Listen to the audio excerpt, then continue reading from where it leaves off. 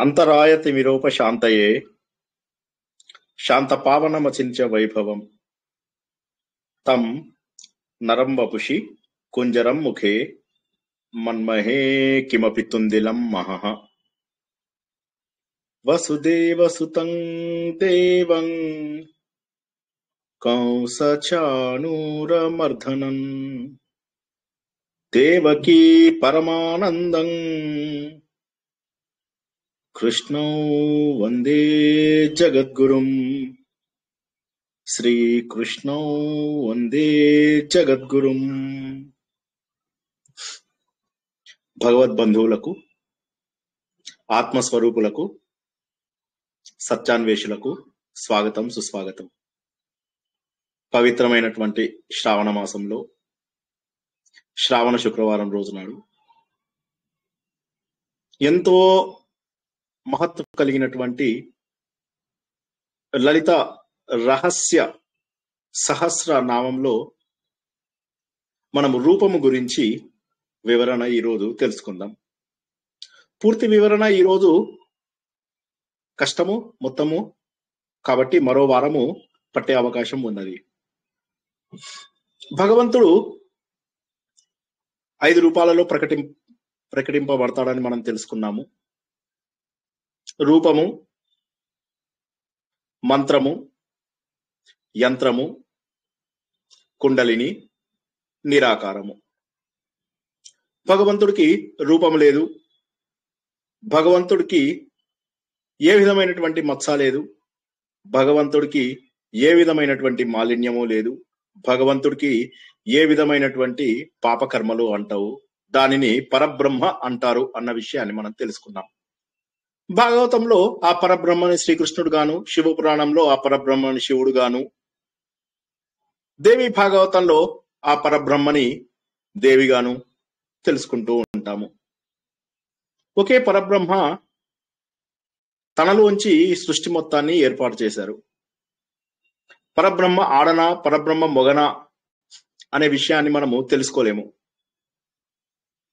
కానీ ఒక రూపం అంటూ ఇస్తే ఆ భగవంతుణ్ణి పూజించడము ఆరాధించడము సులభం అవుతుంది భగవంతుడు ఎక్కడున్నాడో తెలుసుకోవాలి అంటే నిరాకారం సర్వత్రా వ్యాప్తి చెంది ఉన్నాడు. అందరిలోనూ ఉన్నాడు. సర్వజ్ఞుడు సర్వశక్తిమంతుడు అన్న విషయం మనము తెలుసుకున్నాం. భగవంతుడికి రూపం లేదు. ఎందుకంటే అన్ని రూపాలలో ఆయనే ఉన్నాడు. కాబట్టి ఏ రూపం అని ఆయనకి ఇస్తాం నిరాకారంలో ఉన్నటువంటి భగవంతుడు రూపాన్ని మన కోసం ఎత్తాడు. తనలోంచి ఈ సృష్టి మొత్తాన్ని చేశారు ఆ పరబ్రహ్మ. తర్వాత మనలోనే ఉన్నాడు కాబట్టి కుండలిని రహస్యాలని మనము లలిత సహస్రనామాల లోపల తెలుసుకున్నాం. బ్రహ్మ గ్రంథి విష్ణు గ్రంథి రుద్ర గ్రంథి వీటన్నింటినీ విడిపించుకోవడం ద్వారా మనము ఏ విధంగా భగవంతుడిలో ఐక్యమైతాము. మనము భగవంతుడి స్వరూపము అన్న విషయాన్ని అనుభవపూర్వకంగా తెలుసుకుంటాము అన్న విషయాన్ని మనము తెలుసుకున్నాము. భగవంతుడు యంత్ర రూపం గత మూడు వారాలు భగవంతుడి యంత్ర రూపం తెలుసుకున్నాము. Geometrical representation of God circles triangles తోటి మనం తెలుసుకున్నాం భగవంతుణ్ణి.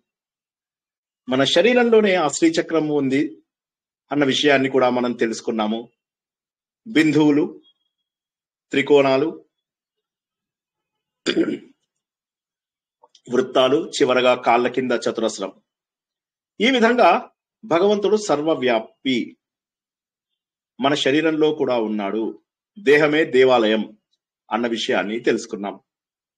ఇప్పుడు ఎంతో సులభమైనటువంటి స్వరూపం గురించి తెలుసుకుందాం. స్వరూపం ఎందుకు సులభమైనది? ఎందుకంటే ఏ విషయాన్నైనా కూడా ప్రత్యక్ష ప్రమాణం అంటారు. ప్రత్యక్ష ప్రమాణం అంటే ఏంటంటే చూడగానే నేను గుర్తుపట్టగలుగుతాను. చూడగానే గ్రహించగలుగుతాను. ఇంద్రియాల ద్వారా నేను చాలా సులభంగా గ్రహించేది స్వరూపాన్ని మాత్రమే. అందుకే హిందూ మతం హిందూ ధర్మం సనాతన ధర్మం అని ఏదైతే మనం చెప్పుకుంటున్నామో అందులోపల విగ్రహారాధనకి అత్యంత ప్రాధాన్యత ఇచ్చాం.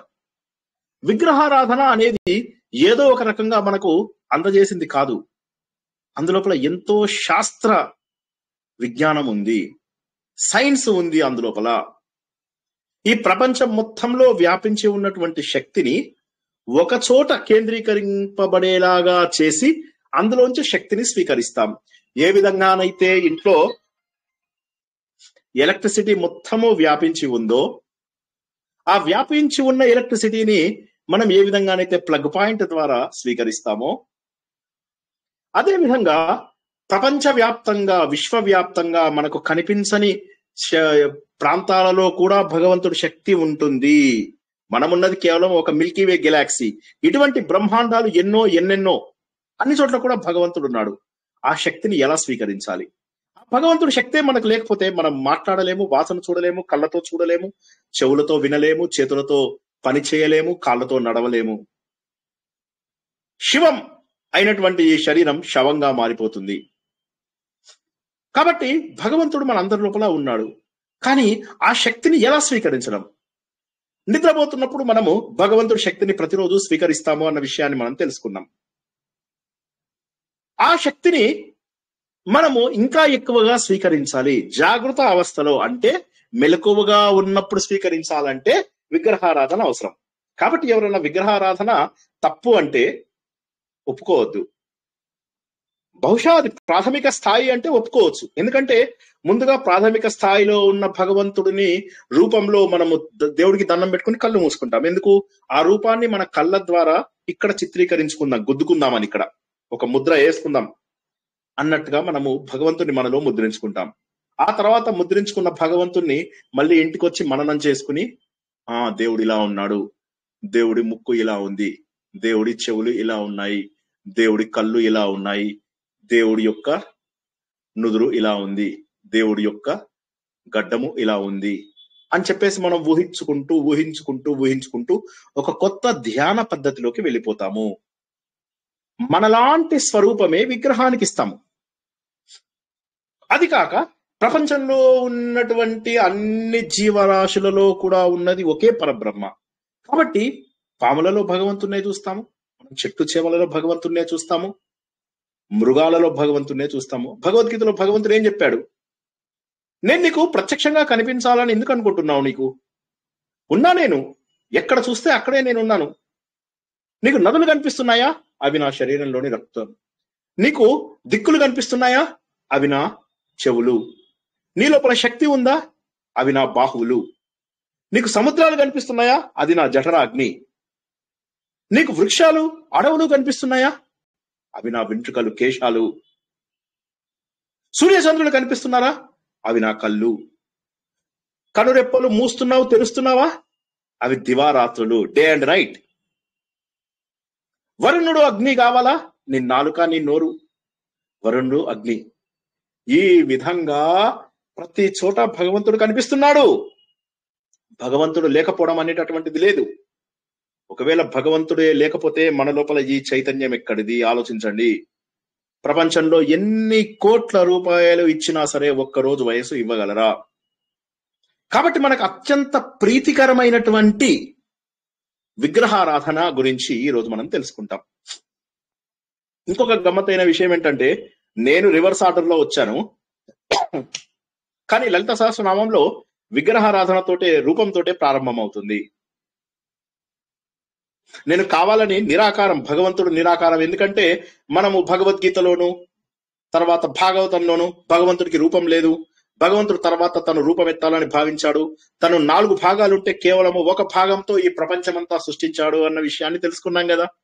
అందుకోసం ఆ సీక్వెన్స్లో రావాలి అన్నట్టుగా నేను రివర్స్ ఆర్డర్లో చెప్పాను అన్నమాట ఈరోజు పరమ పవిత్రమైనటువంటి విగ్రహారాధన గురించి తెలుసుకుందాం. అందరూ ఇళ్ళ లోపల విగ్రహాలను పెట్టుకుంటారు. కొబ్బరితో పెట్టుకుంటారు. చిన్న చిన్న విగ్రహాలు పెట్టుకుంటారు. పెద్ద పెద్ద విగ్రహాలను ప్రతిష్ఠించుకుంటారు. ఇవి భగవంతుడి యొక్క స్వరూపాలు. వీటిని మనము ఆహ్వానించి సరైన పద్ధతి లోపల వాటిని ప్రతిష్ఠిస్తాము. ప్రతిష్ఠించిన తర్వాత వాటిని సరైనటువంటి షోడశోపచార పూజల ద్వారా సేవించి తద్వారా అందులో ఉన్నటువంటి శక్తిని స్వీకరించి ఆ స్వీకరణ కూడా ఎలా చేస్తాం మనము? భగవంతుడికి మన మనసు అర్పిస్తాం. భగవంతుడికి మన దగ్గర ఉన్నటువంటి పదార్థాలు అర్పిస్తాం. ఏమేమి అర్పిస్తాం భగవంతుడికి ఒకసారి? ఆలోచించండి. మన దగ్గర ఉన్నవే అర్పిస్తాం కదా? ఏమేమి అర్పిస్తాం? కాస్త జాగ్రత్తగా వినాడు. Please please please. ముందుగా భూమి నుంచి వచ్చేవి. పళ్ళు ఫలాలు పసుపు కుంకుమలు ఇటువంటివన్నీ కూడా భూమిలోంచి వచ్చేవి. పుష్పాలు పత్రాలు. ఇవన్నీ కూడా మనకు భూమిలోంచి వచ్చేవి. అంటే భూమి తత్వం. భగవంతుడికి మనము పాలతో నీటితో పెరుగుతో నెయ్యితో ఇలా అభిషేకం చేస్తాము. పంచామృతాలతో. అంటే జలతత్వము. భగవంతుడికి దీపం చూపిస్తాం. లేదా కొంతమంది యజ్ఞయాగాలు చేసే వాళ్ళు యజ్ఞయాగాల ద్వారా భగవంతుడిని అగ్ని రూపం లోపల సేవిస్తాం. అగ్నితో సేవిస్తాం. తర్వాత భగవంతుడిని మంత్రములతో సేవిస్తాము. అంటే వాయువు. వాయువు వాయుతత్వం. చివరగా నిశ్చలంగా కొద్దిసేపు ధ్యానం చేసి మనసు లోపల భగవంతుణ్ణి నిశ్చలంగా నిలుపుకుంటాము. అది ఆకాశ తత్వము. ఈ విధంగా మన దగ్గర ఉన్నటువంటి ఏవైతే ఐదు ఉన్నాయో పంచభూతాలు ఈ ప్రపంచంలో మీరు చూసే ప్రతి వస్తువు పంచభూతమే అన్న విషయాన్ని గుర్తుంచుకోండి. ప్రపంచంలో ఇంకా మరేదీ లేదు. పంచభూతాలు మాత్రమే ఉన్నాయి. ఆ పంచభూతాలని మాత్రమే మనం భగవంతుడికి అర్పిస్తాము. మనము దేనితో తయారయ్యామో మనకు ఏవైతే లభ్యమవుతున్నాయో అవే భగవంతుడికి అర్పిస్తాము. ఇక కనిపించనిది మనస్సు ఇంద్రియాలు. వాటితో అర్పించినప్పుడు ఏమవుతుందంటే మనం ఉన్నత స్థాయికి పెరుగుతాము. కాబట్టి విగ్రహారాధనని కేవలము పంచభూతాలతో మాత్రమే ఆపకుండా ప్లీజ్ జాగ్రత్తగా వినండి సెంటెన్స్ అందరూ. క్వశ్చన్ కూడా అడుగుతాను నేను. పంచభూతాలతో పూజిస్తున్నాం. Which is perfect absolutely right ఏ తప్పు లేదు. కానీ పంచభూతాలతో అర్పించడమే కాకుండా మన మనస్సు ఇంద్రియాలు ఏవైతే మనకు కనిపించవో వాటితో కూడా భగవంతుని పూజిస్తే అప్పుడు ఒక స్థాయి పెరుగుతాము. ఈ ప్రపంచంలో కనిపించేది ప్రతిది పంచభూతమే. కాబట్టి మనం కూడా వాటితో పూజించాము. కానీ మన లోపల అంతఃకరణాలు మనస్సు బుద్ధి చిత్తం అహంకారాలు మనకు కనిపించినటువంటి జ్ఞానేంద్రియాలు. వాటితో కూడా భగవంతుణ్ణి పూజిస్తే మరింత ఉన్నత స్థాయికి ఎదుగుతాము. కాబట్టి విగ్రహారాధన చేస్తూనే క్రమ పద్ధతిలో మానసిక పూజలు చేసే స్థాయికి అందరము ఎదగాలి. ఈ విషయాన్ని తెలియజేస్తూ మనము భగవంతుడి యొక్క రూప వర్ణనలోనికి ప్రవేశిద్దాము. భగవంతుడిని మనకు సృష్టి స్థితి లయ ఈ మూడు కూడా చేస్తాడు అన్న విషయం మనందరికీ తెలుసు. కాదనెవరు అనలేరు కదా? మరి భగవంతుడిని మొట్టమొదటే మనము శ్రీమాత శ్రీ మహారాజ్ని శ్రీమత్ సింహాసనేశ్వరి అని ఎందుకు అంటాము అంటే భగవంతుడు శ్రీ మాత. శ్రీ అంటే ఏంటి? మాత అంటే ఏంటి? మన అందరికీ తెలుసు తల్లి అనేది మనకు కృషి అని మరి అదేంటంటే తండ్రి కూడా ఉన్నాడు కదా. తండ్రిని తండ్రిని ఏం చేసాము తండ్రిని మర్చిపోయామా మనము అంటే తండ్రిని మర్చిపోవడం కాదు. తల్లి ద్వారా మనకు ఒక ప్రత్యేకమైనటువంటి సంబంధం ఉంటుంది. తల్లి ద్వారా మనము ఈ ప్రపంచంలో జన్మని ఎత్తుతాము. అయితే తల్లి కేవలము మనకు శరీరము వారిలో ఉన్నటువంటి మంచి గుణాలు వాళ్ళలో ఉన్నటువంటి చెడ్డ గుణాలు ఇస్తుంది. కానీ ఈ జగన్మాత ఎవరైతే ఉన్నారో శ్రీ మాత స్త్రీ అంటే సిరి అంటే రకరకాల సంపదలు. ఈ రకరకాల సంపదలలో జాగ్రత్తగా వినండి ప్లీజ్. ప్రారంధం కూడా ఒకటి. మనం కొన్ని కోట్ల జన్మలలో చేసుకున్నటువంటి పాప పుణ్యాల యొక్క భాగాలను కూడా మనకు తల్లి అందిస్తుంది. అంటే మనకు కేవలము శరీరము ఇచ్చేటటువంటి తల్లి మాత్రమే కాకుండా ఈవిడ జగన్మాత. ప్రపంచంలో జగన్మాత అనడానికి ఎవరు అర్హులు? మా అమ్మ జగన్మాత అంటే ఒప్పుకుంటారా? మీరు ఒప్పుకోరు. ఎందుకంటే ప్రతి ఒక్కరికి వాళ్ళ వాళ్ళ తల్లి ఉంటుంది. మన తల్లికి కూడా తల్లి ఉంటుంది. ఆ తల్లికి కూడా తల్లి ఉంటుంది. సకల జీవరాశులకు ఒక తల్లి ఉంటుంది. ఆ తల్లే జగన్మాత. ఆ తల్లే మనకు సకల సంపదలు అందిస్తుంది. మన తల్లిదండ్రులు మనకు మంచి గుణాలను అందిస్తారు. మనకు ప్రపంచంలో ఎలా బతకాలో మనకు నేర్పిస్తారు. కానీ ఈ శ్రీ మాత అని ఎవరైతే మనం లలితా సహస్రనామంలో తెలుసుకుంటున్నామో ఆవిడ మనను ముక్తి మార్గంలో కూడా తీసుకెళ్తుంది. ఇది మనం కొద్దిసేపట్లో మళ్ళీ తెలుసుకుంటాం. ముక్తి మార్గం కూడా అంటే ఏమిటంటే ఈ ప్రపంచంలోకి నేను ఎందుకు వచ్చాను? ఒక్కసారి జాగ్రత్తగా వినండి. అందరము పుట్టాము. అందరము పెరిగాము. స్కూళ్ళకి కాలేజీలకి వెళ్ళాము. ఆ తర్వాత ఏమైంది? మనకు వివాహమైంది. మన పిల్లలు పుట్టారు. పిల్లల తర్వాత మనవళ్ళు. మనవళ్ళ తర్వాత వాళ్ళని పెంచడము తర్వాత మరణించడము. మళ్ళీ ఇంకొక జన్మ ఎత్తడము పునరపి మరణం పునరపి జననం. పునరపి జననే జఠరే శయనం. ఇహ సంసారే బహుదుస్తారే కృపయా పారే పాహి మురారే. ఇలా పుట్టుక మరణము పుట్టుక మరణము పుట్టుక మరణము అనేటటువంటి ఒక విషయ సైకిల్ ఒక విష వలయంలో మనం కొట్టుమిట్టాడుతూ ఉన్నాము. కానీ వాటి నుంచి మనని దూరంగా తీసుకెళ్ళగలిగేటటువంటి ఒకే ఒక శక్తి శ్రీమాత. అందుకే మొట్టమొదటి మంత్రంగా శ్రీమాత అని చెప్పేసి చెప్పడం ఇక్కడ వీలైంది. అంటే కేవలము తల్లి మాత్రమే కాకుండా ఈ సకల చరాచర అంటే కదిలే వాటికి కదలని వాటికి కూడా ఆవిడే తల్లి. ఆవిడ దివ్యత్వము ఆవిడ మనకు సిరి సంపదలను అందిస్తుంది ఔన్నత్యము అందిస్తుంది. మన లోపల ఉన్నటువంటి సకల సంస్కారాలు బీజ రూపంలో ఉంటాయన్న విషయాన్ని తెలుసుకున్నాం కదా మనం ఇంతకు ముందు ఏమిటి ఆ బీజ రూపంలో ఉన్నవి? అంటే మనకు ముందుగా ఈ కనిపిస్తున్న శరీరాన్ని స్థూల శరీరం అంటాం. మనస్సుని బుద్ధిని సూక్ష్మ శరీరం అంటాం. నిద్రలో మనం డీప్ స్లీప్లోకి వెళ్ళినప్పుడు ఎక్కడ ఉన్నాం? అప్పుడు కారణ శరీరం విత్తనం రూపంలో ఉంటాము. అప్పుడు మనం శరీరము కాదు మనస్సు కాదు. ఆ సమయంలో ఎవడన్నా మన పక్కన కోటి రూపాయలు పెట్టినా తీసుకోము. ఆ సమయంలో మన వస్తు సంపదలను ఎవడన్నా పట్టుకుపోయినా కూడా మన పిల్లల్ని పట్టుకుపోయినా కూడా మనకేమీ తెలియదు. నిద్ర లేచిన తర్వాత మాత్రం అబ్బా చాలా బాగుంది అని చెప్తాం. దానికి కారణం ఏంటంటే భగవంతుడు ఈ సహస్రారంలోంచి పెట్రోల్ ట్యాంక్లో ఏ విధంగానైతే పెట్రోల్ నింపుకుంటామో భగవంతుడు ఆ విధంగా మన శరీరంలో శక్తిని నింపుతాడు. ఇక్కడ భగవంతుడు అంటే మళ్ళా మీరు మొగ ఆడ అనుకోకండి దయచేసి. పరబ్రహ్మకు ఏ విధమైనటువంటి లింగము ఉండదు. కాబట్టి భగవంతుడి యొక్క శక్తిని ఏ విధంగానైతే మనం స్వీకరిస్తామో ఆ స్వీకరించే శక్తి మనకు కేవలము మన దినచర్యలకు పనికొచ్చే శక్తే కాకుండా మనకు మోక్ష మార్గము. అంటే ఈ జన్మల నుంచి విడిపడి అంటే మన పాపాలు పుణ్యాలు అన్ని శూన్యం చేసుకుని నేనే భగవంతుడి స్వరూపుడను. Every person is individually divine మన మనం చేసేటటువంటి ప్రతి పని కూడా ఎలా ఉండాలంటే ఆ దివ్యత్వాన్ని వెలికి తీసుకోవాలి. భగవద్గీతలో పన్నెండవ అధ్యాయం అందరికీ జ్ఞాపకం ఉంది. భగవంతుడు ముప్పై ఐదు లక్షణాలలో మనలోని దివ్యత్వాన్ని బయటికి తీసుకోవాలి అన్న విషయాన్ని తెలియజేశాడు. కాబట్టి అటువంటి దైవత్వాన్ని మనలోంచి ఆవిష్కరించుకోవాలంటే తల్లిని మనము ఆశ్రయించాలి. ఈ తల్లి ఏం చేస్తుందంటే ఈ జన్మలో చేసిన పాపపుణ్యాలు పూర్వ జన్మలలో కొన్ని కోట్ల జన్మలలో చేసినటువంటి పాప అన్నిటినీ ఒక విత్తన రూపంలో పెట్టేస్తుంది. ఆవిడ ఆయన అది వదిలేయండి ఆ పదం వదిలేయండి. వారి యొక్క కేవలం సంకల్పం వల్లనే ఏ తల్లిదండ్రులు ఇంట్లో పుట్టాలి? ఏ కుటుంబంలో పుట్టాలి? ఎక్కడ ఉద్యోగం చేయాలి? అనేటటువంటి ఇంపార్టెంట్ మైల్ స్టోన్స్ మన జీవితంలో ఏవైతే అనుకుంటామో అవి మనకు అందుతాయి. కొన్ని ఎంత కష్టపడ్డా కూడా మనకు జీవితంలో అందవు. కొన్ని ఏమి కష్టపడకుండా కూడా వస్తాయి. కష్టపడకుండా వచ్చినప్పుడు నా గొప్ప అనుకుంటాము. ఎంత కష్టపడినా రాకపోతే దైవాన్ని దూషిస్తాము.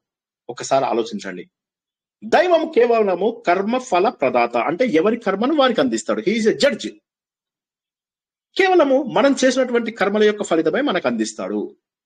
కాబట్టి మనం పశువులుగా పుట్టాలా? మనం గడ్డిలాగా పుట్టాలా? అనేటటువంటిది మనమే ఆలోచించాలి. సమయం లేదు. శరణమా మరణమా? ఒక్కసారి ఆలోచించండి. ఇలా హ్యాపీగా ఇంట్లో కూర్చుని చక్కగా ఏసీ రూమ్లో కంఫర్టబుల్గా కూర్చుంటూ ఒక కారు ఒక ఫ్యామిలీ ఒక ఇల్లు సమాజంలో ఒక స్థానము మనకుంది. రేపు ఏ అడవిలోనో చిన్న కుందేలుగా పుడతాం. ఏ సమయంలో ఎవరొచ్చి తింటారో తెలియదు. రాత్రి అయితే నిద్ర లేదు పగలైతే బతుకులేదు పొద్దున్న లేస్తే చాలు మళ్ళీ ఆహారం కోసం వెంటాడాలి.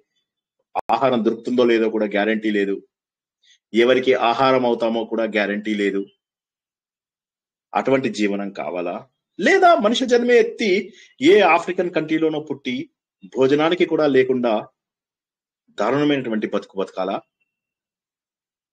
ఎందుకు ఈ జన్మలన్నీ ఎత్తడము? అంటే ఇవి భగవంతుడికి సంబంధం లేదు. ఆయన మనకు ప్రారంధాన్ని ఇచ్చాడు కొంత సంకల్ప శక్తిని ఇచ్చాడు. మనిషిగా పుట్టావు నువ్వు నీ అదృష్టం. ఈ సంకల్ప శక్తి ద్వారా ఈ ప్రారంధాన్ని దూరం చేసుకో. నువ్వు నా లోపల కలిసిపో. ఇంత గొప్ప అర్థము మనము శ్రీమాత అనేటటువంటి ఒక్క పదం లోపల తెలుసుకుంటున్నాం. శ్రీ అందుకోసమే మనం ప్రతి భగవంతుడికి శ్రీ శ్రీ శ్రీ అని చెప్పేసి అత్యంత భక్తి గౌరవ భావాలతోటి మనము భగవంతుణ్ణి ప్రార్థిస్తూ ఉంటాము. వశన్యాది దేవతలు ఎవరైతే ఉన్నారో వారు ఎనిమిది మంది మన శరీరంలో అన్ని భాగాలలో ఉన్నారు. మనము మాట్లాడే మాట కాదు పశువులు మాట్లాడే మాట కాదు. ప్రతి శబ్దము కూడా వాడి నుంచే వచ్చింది. నేను ఇలా చప్పట్లు కొట్టాను. ఈ శబ్దం కూడా వశన్యాది దేవతలు ఇచ్చినదే. ఒక ఏడుపు ఒక నవ్వు ఒక శిల్పం చెక్కుతున్నప్పుడు వచ్చే శబ్దము ప్రతి శబ్దము కూడా వశన్యాది దేవతలు ఇచ్చినదే. అటువంటి వశన్యాది దేవతలు అన్ని కూడా చూస్తూ ఉంటారు అమ్మ చుట్టూ ఉండి. వారు మనకు అందించినటువంటి అద్భుతమైనటువంటి నామము సహస్ర నామము అనంత కోటి నామాలలో వేయి నామాలను మనకు అందించి కైవల్యం తెచ్చుకోండి అన్నారు. బాధపడుతున్నాడు అగస్త్యుడు. ఎలాగ కలియుగంలో వీరికి సమయం లేదు పాపాలు చూస్తేనేమో మూట కట్టుకుని వెళ్ళిపోతున్నారు వీరి జీవితం ఎలా బాగుపడుతుంది? అప్పుడు ఆయనకి హయగ్రీవుడు ప్రత్యక్షం అవడం ఆ హయగ్రీవుడి ద్వారా హయగ్రీవుడు జ్ఞానమూర్తి. మనం మూర్తులు మూడు రకాలని చెప్పి తెలుసుకున్నాం కదా అందులో హయగ్రీవుడు జ్ఞానమూర్తి ఆయన అందించినటువంటి జ్ఞానం. బాబు ఇది చేసుకో. ఇది చేసుకుంటే ఈ లౌకిక సంపదలన్నీ కూడా లభ్యమవుతాయి. తర్వాత అలౌకికమైనటువంటి ఆనందము మోక్షము కూడా లభిస్తుంది. ఎందుకంటే ఈవిడ శ్రీ మాత. ఈ ప్రపంచంలో ప్రతి విషయము జన్మ ఎత్తడానికి కారణము ఉద్భవించడానికి కారణము ఈవిడే. శ్రీ మహారాజ్ని మహారాజ్ని అంటే ఏంటి? రాణి. ఓ అయితే రానేనా? రాజు కాదు. రాజు అయితే ఇంపార్టెంట్ రాణి అయితే ఇంపార్టెంట్ కాదు. అంటే కాదు తప్పు మాట. రాణి అంటే ఏంటి? ఈ ప్రపంచం మొత్తాన్ని పోషించేది. మన తల్లి మనకు చిన్నప్పుడు పోషిస్తూ ఉంటుంది. తండ్రి కాదు మనను చిన్నప్పుడు పోషించేది తల్లి. తల్లి పాలను సేవించడం ద్వారా మన శరీరానికి కావాల్సినటువంటి కావలసినటువంటి ధాతువులన్నీ అందుతూ ఉంటాయి. రాజు ఎంత ముఖ్యమో రాణి కూడా అంతే ముఖ్యము. ఏ విధంగా అయితే పరమేశ్వరుడు లోపల ఉన్నటువంటి చైతన్య రూపము మనం అనుకున్నాం కదా ఒక దీపము ఆ దీపం లోపల జ్యోతి. ఈ రెండు వేరు వేరు కాదు. శివ శక్తి ఒకే రూపము. కాబట్టి అందులో ఉన్నటువంటి జ్యోతి ద్వారా మనకు కాంతి లభిస్తుంది. అదే విధంగా శివుడు అనే దీప జాగ్రత్తగా వినండి శివుడు అనే దీపంలో ఉన్న అమ్మవారు అనే జ్యోతి ద్వారా మనకు ప్రపంచంలో అన్ని చోట్ల వెలుతురు ఉంది. అంటే మనము పెరగడానికి స్థితికి ఆవిడే కారణము. మనకు మూడు రకాల అవస్థలు ఉన్నాయి సృష్టి స్థితి లయ అని. సృష్టి అంటే పుట్టించేవాడు బ్రహ్మదేవుడు. స్థితి అంటే విష్ణుమూర్తి మనందరినీ పోషించేవాడు. లయ అంటే లయకారుడైనటువంటి పరమేశ్వరుడు.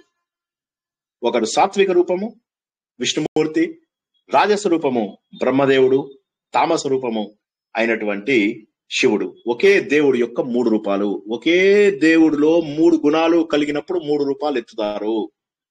వీరిని ఇంగ్లీష్ లోపల జిఓడి గాడ్ అంటాము. Generator organizer destroyer G O D ఈ మూడు లక్షణాలు ఉన్నవాడే నిజమైన దేవుడు. ఈ మూడు లక్షణాలు లేకుండా నాకు నేనే దేవుణ్ణి అని చెప్పేసి ప్రకటించుకుంటే కాదు. మనం ఆ స్థాయికి ఎదగాలి. అందరూ దేవుళ్ళే. కానీ ఆ స్థాయికి ఎదిగినప్పుడు మాత్రమే ఆ శక్తి వస్తుంది. ఆ శక్తి వచ్చేది మనకు మన లోపల పరిణతి పెంచుకున్నప్పుడు మాత్రమే. ఆ శక్తిని ఇచ్చేటటువంటిది మహారాజ్ని. అంటే మనను పోషించేది ఎవరు? ఇక్కడ మహారాణి రూపంలో ఉన్నటువంటి తల్లి. అంటే ఈవిడ కేవలం రాజు భార్య కాదు. ఆవిడ అనేక రకాలైనటువంటి సన్మానాలని గౌరవాలని ఏ రకంగానైతే మహారాణి పొందుతూ ఉంటుందో ఈవిడ అలాంటిది కాదు. ఈవిడ మనకు పుట్టుక నుంచి పెంచుతూ పెంచుతూ పెంచుతూ మన లోపల సకల చైతన్యాలు సకల ఆలోచనలు రావడానికి మన యొక్క కెరియర్ మన యొక్క లైఫ్ అంటే మన జీవితము మన ఆశయాలు అన్ని కూడా అభివృద్ధి చెందేలాగా మన మానసిక శారీరక పరిస్థితులను అభివృద్ధి చేస్తూ మనను పెంచబోతుంది మనను పోషిస్తుంది. కాబట్టి అటువంటి మహానుభావురాలు అయినటువంటి అమ్మవారిని ఇక్కడ మహారాజ్ని అన్నారు. శ్రీమాత అంటే సృష్టి కారణము మహారాజ్ని అంటే స్థితి కారణము సింహాసనేశ్వరి. ఇక్కడ మీకు ఇంతకు ముందు నేను చెప్పినట్టుగా గుర్తు మనకు వేదాలలో ఉన్నటువంటి కొన్ని పదాలు రివర్స్ చేసి వాటి అర్థాలను తెలుసుకుంటాము. ఉదాహరణకి జయ అంటే దాన్ని రివర్స్ చేస్తే యజ అంటే యజ అంటే యజ్ఞము చేయడం ద్వారా జయము సంపాదిస్తావు అని. వేదము దేవము. వేద దేవ. అంటే వేదాలు దైవ స్వరూపాన్ని తెలియజేస్తాయి అని. ఇక్కడ తీసుకున్నట్టయితే సింహ హింస. సింహని తిరగేస్తే హింస. సింహము హింసకి కారణము. హింస ఎందుకు కావాలి? మనకు లయం జరగాలి. అంటే మన మరణానికి కారణము. మన మరణము అంటే ఏంటి? మన ఆత్మకు మరణం లేదు. కానీ ఈ దేహానికి ఈ ఉపాధికి మరణం ఉంది కదా. ఈ ఉపాధికి లక్ష్యం ఉంది కదా. ఆ లక్ష్యాన్ని మనము చేరుకోవాలి. కాబట్టి అమ్మవారు అది కూడా చేస్తారు. అంటే సృష్టి స్థితి లయ మూడు చేస్తారు అన్న విషయాన్ని మనం తెలుసుకుంటున్నాము. అంటే శ్రీమాత శ్రీ మహారాజ్ని శ్రీమత్ సింహాసనేశ్వరి. ఇక్కడ సింహాసనేశ్వరి అంటే మరొక అర్థం కూడా మనం తెలుసుకుందాం. ఒకటేమో హింస చేయడం ద్వారా మనందరినీ తన లోపల ఐక్యం చేసుకునే లయకారి. భగవంతుడికున్న త్రీ క్యారెక్టర్స్ మనం పరబ్రహ్మకు ఉన్నటువంటి మూడు లక్షణాలని మనము తెలుసుకున్నాము. ఇప్పుడు తెలుసుకునేది ఏంటంటే సింహాసనేశ్వరికి ఇంకొక అర్థం ఏమన్నా ఉందా? ఉంది. దీన్ని ఏమంటారంటే పంచబ్రహ్మలు అని అంటారు అన్నమాట పంచబ్రహ్మలు అంటే ఏంటంటే ఉదాహరణకి మనకు బ్రహ్మ విష్ణు మహేశ్వరుడు ఈ ముగ్గురు సృష్టి స్థితి లయకారుడు ఇంద్రుడు మన శక్తి కారణము. ఈ నలుగురు ఒక మంచానికి నాలుగు కోళ్ళు. మధ్యలో మనం దేని మీద అయితే పడుకుంటామో అది శివుడు. మన కాట్ ఏదైతే మధ్య భాగం ఉంటుందో అది శివుడు. ఈ ఐదుగురిని పంచబ్రహ్మలు అంటారు. ఈ పంచబ్రహ్మలలో ఆవిడ కూర్చున్నారు. అంటే మోక్షము అందించడం కోసమై ఈ పంచ బ్రహ్మల పైన ఈ గొప్ప సింహాసనము ఏదైతే ఉందో ఐదు కో నాలుగు కోళ్ళు మధ్య భాగము. నాలుగు పాదాలు మధ్యలో ఉన్నటువంటి ఆసనము. ఉన్నటువంటి ఒక గొప్ప సింహాసనము. పంచ బ్రహ్మలతో తయారైనటువంటి ఒక సింహాసము. సృష్టి స్థితి లయ శక్తి ఆధారము. ఈ ఐదు అందించే పంచ బ్రహ్మల యొక్క స్వరూపము ఆవిడ కలిగి ఉంది. కాబట్టి శ్రీమత్ సింహాసనేశ్వరి అన్నారు. ఇప్పుడు మళ్ళొక్కసారి తెలుసుకుందాము. లలితా సహస్రనామంలో మనము రూపం గురించి తెలుసుకుంటున్నాం.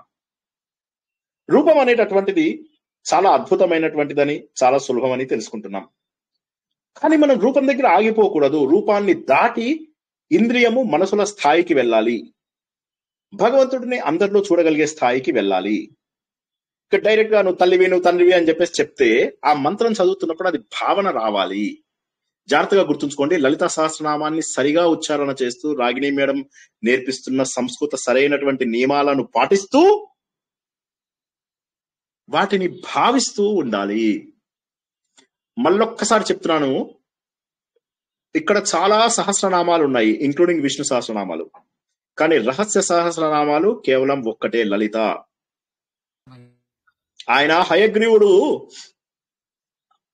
ఆయనకి అమ్మవారి గురించి చెప్తూ బండాసుర వధ గురించి ఆ తర్వాత అమ్మవారి చరిత్ర గురించి ఆవిడ ఎలా ఉద్భవించింది అనే విషయాలు తెలియజేస్తాడు. ఎవరు? హయగ్రీవుడు. ఈయనంటాడు స్వామి అన్ని తెలియజేశావు గాని అమ్మవారి లలిత సహస్రనామం ఎందుకు చెప్పలేదు నాకు అంటాడు. ఆయన అంటాడు నీకు అర్హత ఉందో లేదో నాకు తెలియడం లేదు. కానీ నువ్వు అడిగావు అంటే దాని మీద నీకు క్యూరియాసిటీ ఉంది. తెలుసుకోవాలనేటటువంటి జిజ్ఞాస ఉంది నీ లోపల. నీకు అర్హత ఉంది. అర్హత లేని వాళ్ళకి ఇది చెప్పకూడదు. నమ్మకం లేని వారికి ఇది చెప్పకూడదు. మూఢులకి ఇది చెప్పకూడదు. మూర్ఖులకి ఇది చెప్పకూడదు. ఇవి రహస్య నామములు. ఎవరు చెప్పారు ఇది? హయగ్రీవుడే చెప్పాడు ఇది. హయగ్రీవుడు జ్ఞానమూర్తి. మనకు మూడు రకాల మూర్తులు ఉంటారు. మన కోరికలు తీర్చుకోవడం కోసం వచ్చే వారిని భోగమూర్తులు అంటారు. మనకు ఆపదలు కలిగినప్పుడు రుద్రమూర్తులను పూజిస్తూ ఉంటాము. మనకు జ్ఞానం కావాలి అనుకున్నప్పుడు జ్ఞానమూర్తులను యోగమూర్తులను పూజిస్తుంటాము. ఆ యోగమూర్తులలో దక్షిణామూర్తి ఒకరు శ్యామలాదేవి హయగ్రీవుడు వీరు సరస్వతీదేవి వీరందరూ కూడా మనకు జ్ఞానాన్ని ప్రసాదింపజేస్తారు. అటువంటి మహానుభావుడైనటువంటి హయగ్రీవుడు ఏమంటాడంటే ఇది రహస్యనామములు ఎవరు పడితే వాళ్ళు చదవడానికి వీల్లేదు. కేవలము మీ లోపల నిజమైనటువంటి సంస్కారం ఉంటే మాత్రమే చదవాలి. అంటే అప్పుడు ఈయన చాలా సంతోషపడతాడు. చదివి అప్పుడు ఆయన తన శక్తిని చూపించుకుంటాడు అగస్త్యుడు. అగస్త్యుడు మహానుభావుడు. ఇది మళ్ళీ ఎప్పుడైనా తెలుసుకుందాము క్లుప్తంగా చెప్తాను. అప్పుడు ఆయన ఏం చేస్తాడంటే త్రిశతి అని అమ్మవారిదే మూడు వందల ఇవి ఉంటాయి అనమాట అమ్మవారి మంత్రం నేను ఇంతకు ముందు కూడా చెప్పాను. షోడశి తర్వాత పంచదశి తర్వాత శ్రీ విద్య శ్రీచక్రము రాజరాజేశ్వరి ఆ త్రిపుర బాల ఇవన్నీ కూడా ఒకడే ఓకేనా? శ్రీ విద్య శ్రీచక్రం బాల త్రిపుర రాజరాజేశ్వరి ఇవన్నీ ఒకటే అన్నమాట. ఇక్కడ ఆయన ఏం చేస్తారంటే ఈ పంచదశి షోడశి అనేటటువంటి బీజాక్షరాలలో పంచదశిలో పదిహేను ఉన్నాయి. ఒక్కొక్క మంత్రము మంత్రము చదవడానికి అర్హత లేని వాళ్ళు ఇరవై శ్లోకాలు చదివితే ఆ త్రిశతి ఏదైతే ఉందో మూడు వందల శ్లోకాలు. ఆ మూడు వందలు చదివితే ఈ పదిహేను బీజాక్షరాలు చేసినట్టే లెక్క.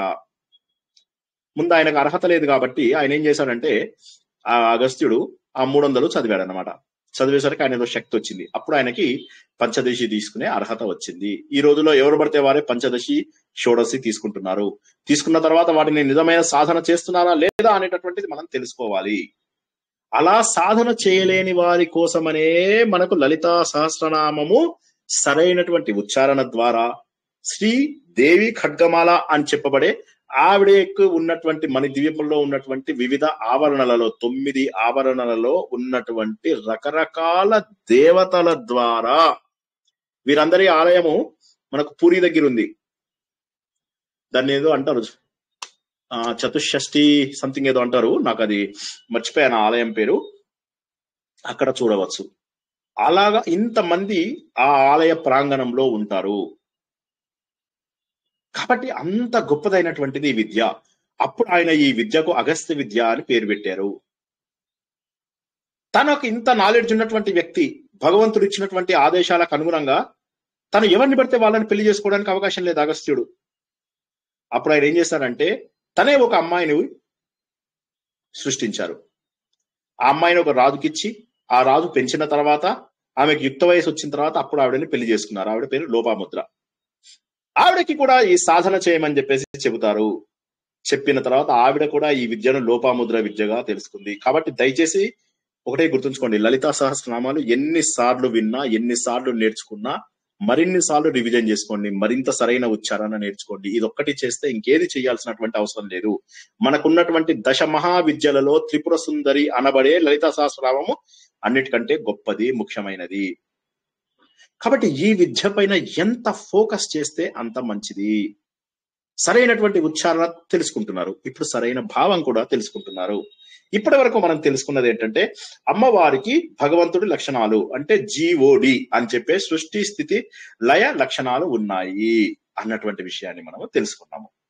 ఇప్పుడు సృష్టి స్థితి లయలు మాత్రమే కాకుండా ఆవిడ ఎక్కడి నుంచి ఉద్భవించింది? చిదగ్నికుండ సంభూత. దేవకార్య సముద్యత. ఏంటి దీని మీనింగ్?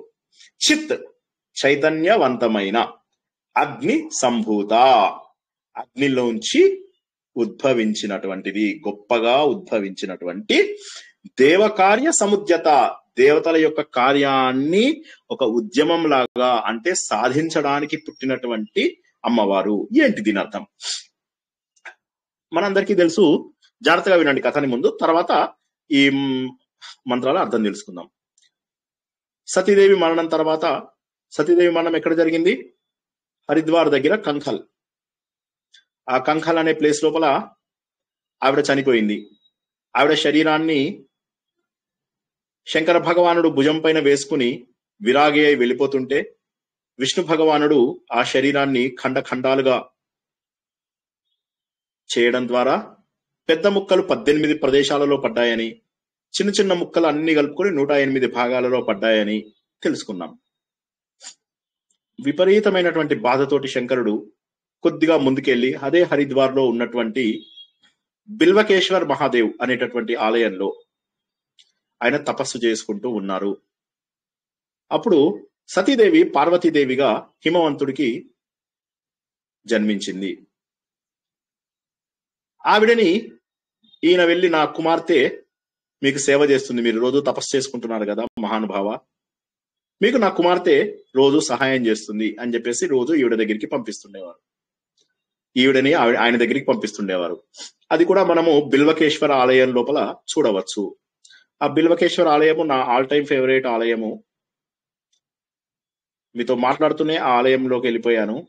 మళ్ళీ రీసెంట్గా కూడా వెళ్ళాను కాబట్టి అదొక అమోఘమైనటువంటి స్థలము. అక్కడ కూర్చుని కొన్ని గంటల పాటు ఉండిపోవచ్చు. ఎంతో బిజీగా ఉన్నటువంటి హరిద్వార్లో బిల్వకేశ్వర్ ఆలయం అనేటటువంటిది మానసాదేవి ఆలయానికి చాలా దగ్గరలో. మాయాదేవి ఆలయానికి ఇంకా దగ్గరలో ఉంటుంది. ఆ బిల్వకేశ్వర ఆలయం దగ్గర పరమశివుడు తపస్సు చేసుకుంటూ ఉన్నాడు. పార్వతీదేవి ఆయనకు సేవ చేస్తూ ప్రతిరోజు ఉండేది. కానీ శివ పార్వతుల వివాహం అయితే కాని కుమార సంభవం జరగదు. కుమార సంభవం జరిగితే గాని త్రిపురాసుర అనేటటువంటి రాక్షసుడి మరణం జర సంభవించదు. కాబట్టి మన్మధుడిని ఆయన మీదకి ప్రయోగించడము మన్మధుడు దగ్ధమైపోవడము జరుగుతుంది. అప్పుడు శివుడు పార్వతి వారి వివాహాన్ని విష్ణుమూర్తి చేస్తాడనమాట ఆ ప్రదేశాన్ని కేదార్నాథ్ దగ్గర ఉన్నటువంటి త్రియుగి నారాయణ్ అనేటటువంటి స్థలం లోపల చేస్తారు. మూడు యుగాలుగా అక్కడ మంట అలాగే ఉంది ఇప్పటి వరకు కూడా. ఏదైతే వివాహంలో మనకు ఉంటుందో అది ఇప్పటికి కూడా ఉంది. అక్కడికి వెళ్తే మరోసారి పెళ్ళి చేసుకోవచ్చు. అంటే అదే భాగస్వామిని. అయితే అక్కడ వివాహం చేసుకునే అవకాశం ఉంది అందరికీ. ఈ విధంగా ఈ అద్భుతమైనటువంటి స్థలాలన్నీ కూడా హిమాలయాల లోపల జరిగాయి. ఈ మధ్య లోపల ఒక స్థలం వస్తుంది. దాన్ని భూతనాథ్ మహాదేవ్ అంటారు. అక్కడ ఏమవుతుందంటే పెళ్ళికి బారాత్ ఊరేగింపు అంటాం కదా మనం. ఆ ఊరేగింపు జరుగుతూ ఉంటుంది అనమాట పార్వతీదేవి వాళ్ళు ఇచ్చినటువంటి విడిదికి శివుడు బయలుదేరుతూ ఉంటాడు. ఆయనతోటి ఉన్నటువంటి గణాలందరూ కూడా అక్కడ నాట్యం చేస్తూ ఉంటారు డాన్స్ చేస్తూ ఉంటారు అనమాట ఆ భూతనాథ్ మహాదేవు ఋషికేశ్లో ఉంది. ఈ ఋషికేశ్ మొత్తం దాటిన తర్వాత వారి వివాహం ఇలా బారాత్ మొత్తం అయిన తర్వాత చివరికి త్రియుగి నారాయణ్ చేరుకుని త్రియుగి నారాయణ్ లోపల వివాహం జరుగుతుంది. ఓకే.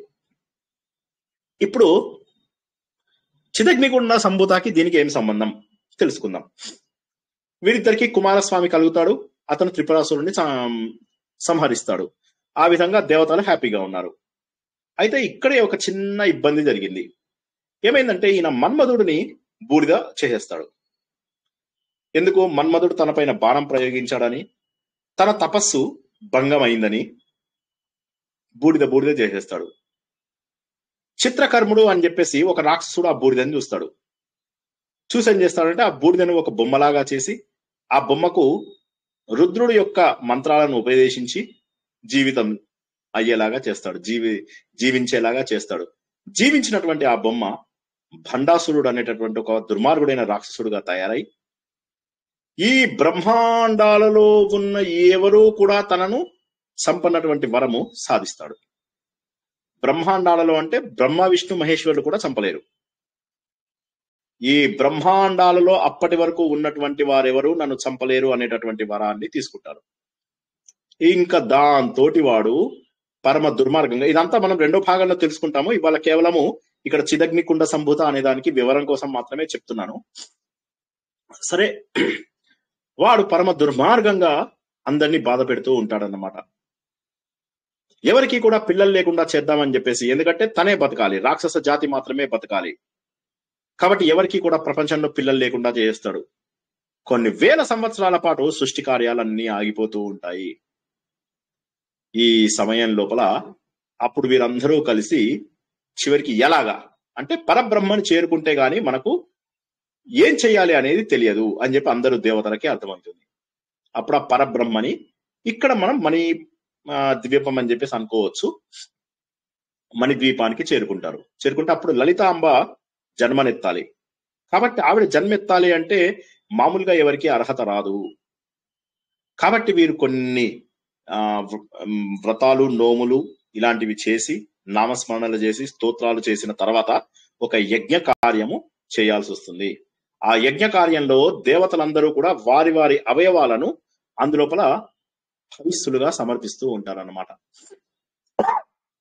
ఆ విధంగా సమర్పిస్తుంటే అప్పుడు అందులోంచి ఒక చైతన్యవంతమైనటువంటి కోట్లాది సూర్యుల ప్రకాశము ఉన్నటువంటి అజ్ఞానాలన్నింటినీ దూరం చేసేటటువంటి పరబ్రహ్మ స్వరూపమైనటువంటి లలిత అమ్మవారు జీఓడి అని చెప్పబడేటటువంటి సృష్టి స్థితి లయలకు కారణమైనటువంటి ఆవిడ ఉద్భవించారు. కాబట్టి చిత్ అగ్ని చైతన్యవంతమైన అగ్ని అది మామూలు అగ్ని కాదు జ్ఞానం యొక్క అగ్ని. కాబట్టి అంత గొప్ప అగ్నిలోంచి ఆవిడ ఉద్భవించింది. తర్వాత దేవతలకు వాళ్ళ శరీర భాగాలు వాళ్ళకి అంటుకున్నాయి. ఇప్పుడు మళ్ళా కన్ఫ్యూజ్ అవ్వకండి. ఆ తర్వాత ఆవిడ అందులోంచి పుట్టి దేవతల యొక్క కార్యాలను దేవతల యొక్క కార్యం ఏంటి? ఈ బండాసురుడిని సంహరించాలి. అప్పుడు వాడిని సంహరిస్తుంది. తనకంటూ ఒక సైన్యాన్ని తయారు చేసుకుని అందరూ లేడీస్ అన్నమాట. ఆ లేడీస్ సైన్యం ఇదంతా ఎందుకు చెప్తారు లేడీస్ అని అనే మీనింగ్ ఏంటంటే స్త్రీ జాతికి మనం ఇచ్చేటటువంటి గౌరవము. హిందూ ధర్మంలో మాత్రమే స్త్రీ జాతి అత్యంత శక్తివంతమైనది అని చెప్పేసి అంటారు. కానీ మధ్యలో వచ్చినటువంటి ఆచార వ్యవహారాల వల్ల మనము వారిని కొంత తక్కువ స్థాయి చేయడం అంటూ జరిగింది. తక్కువ చూపు చూడడం జరిగింది. కేవలము మధ్యలో వచ్చిన ఆచార వ్యవహారాలే కానీ మన వేదాలలో చూసినా పురాణాలలో చూసినా కూడా ఆడవారికి ఉన్నతమైనటువంటి స్థానం ఉన్నది అన్న విషయం తెలుస్తుంది. ఎంతో కష్టపడి ఈవిడ తన దగ్గర ఉన్నటువంటి అందరూ స్త్రీ సైన్యంతో ఆవిడ భండాసురుణ్ణి కామేశ్వర ఆస్త్రం అనేటటువంటి అస్త్రం ప్రయోగించడం ద్వారా వాడిని చంపుతుంది. ఈ విధంగా దేవతల కార్యాన్ని ఆవిడ సమ సమ సాటిస్ఫై సాటిస్ఫాక్టరీగా పూర్తి చేసింది. వారి స- సంతృప్తికరంగా పూర్తి చేసినది. ఇప్పుడు ఇది మనకెలా అన్వయించుకుందాం? మన శరీరంలో కూడా రాక్షస ఆలోచనలు అజ్ఞానాలతో నిండినటువంటి ఆలోచనలు ఉన్నాయి. ఎన్నో ఆసురి ప్రవర్తనలు మనము తెలుసుకున్నాము. పదహారవ అధ్యాయంలో భగవద్గీత పదహారవ అధ్యాయంలో. అటువంటి ఆసురు లక్షణాలు మనలో ఉన్నప్పుడు అమ్మవారిని గనుక పూజించినట్లయితే ఆవిడ మన లోపల జ్ఞానం అనేటటువంటి అగ్నిని నహి జ్ఞానేన సదృశం పవిత్రం ఏముచ్యతే అంటారు కదా? అంటే జ్ఞానానికి సంబంధించిన జ్ఞానానికంటే గొప్పదైన జ్ఞానానికంటే పవిత్రమైనటువంటిది ఈ ప్రపంచంలో మరేదీ లేదు. కాబట్టి అటువంటి అమోఘమైనటువంటి శక్తిని మన హృదయంలో ఆవిడ స్థాపిస్తారు. అలా స్థాపించినటువంటి ఆ శక్తి ద్వారా ఆ అగ్ని ద్వారా మనలో ఉన్నటువంటి చెడు ఆలోచనలని ఆసురీ లక్షణాలను పూర్తిగా నాశనం చేస్తారు. ఎలా నాశనం చేస్తారు? మన శరీరంలో ప్రతి భాగానికి ఒక దేవుడు ఉన్నాడు. చేతులకి ఇంద్రుడు అని చెప్పేసి చెప్పుకున్నాము. చెవులకి సూర్యచంద్రుడు అని చెప్పుకున్నాము. ముక్కుకి అశ్విని దేవతలు అని చెప్పుకున్నాము. నోటికి వరుణుడు అగ్ని అని చెప్పేసి చెప్పుకున్నాము. ఇలాగ రాత్రి పగలు అని చెప్పుకున్నాము. మనస్సుకి చంద్రుడు అని చెప్పేసి చెప్పుకున్నాము. ఇవన్నీ మనం ఇంతకు ముందు తెలుసుకున్న విషయాలే. అలాగా ప్రతి అవయవానికి ఒక దేవుడు ఉంటాడు. కాబట్టి ఆ దేవుడిని యాక్టివేట్ చేస్తుంది ఆవిడ. ఈ ఈ చిదగ్ని గుండ సంభూత లోపల ఏవైతే మన శరీరం లోపల జ్ఞానాన్ని ప్రేరేపించి ఆ దేవుడిని యాక్టివేట్ చేస్తుంది. ఉదాహరణకి నాకు చేయి నొప్పి ఉందనుకో. ఇంద్రుడు కావాలి. ఇంద్రుడిని యాక్టివేట్ చేసి వీడికి శక్తినివ్వు ఇంద్రియాలకు శక్తి కావాలి వీడికి. ముక్కు సరిగ్గా పనిచేయకపోతే అశ్విని దేవతలను యాక్టివేట్ చేస్తుంది. ఈ విధంగా ఒక్కొక్క కోరికకు ఒక్కొక్క రకమైనటువంటి దేవతలను ఆవిడ ఉద్భవం చేస్తుంది. యాక్టివేట్ చేస్తుంది. జీవితులను చేస్తుంది. ఆ విధంగా మన శరీరంలో ఉన్నటువంటి అజ్ఞానము మానసిక శారీరక చింతలన్నింటినీ కూడా పోగొడుతుంది అని ఒక అర్థం.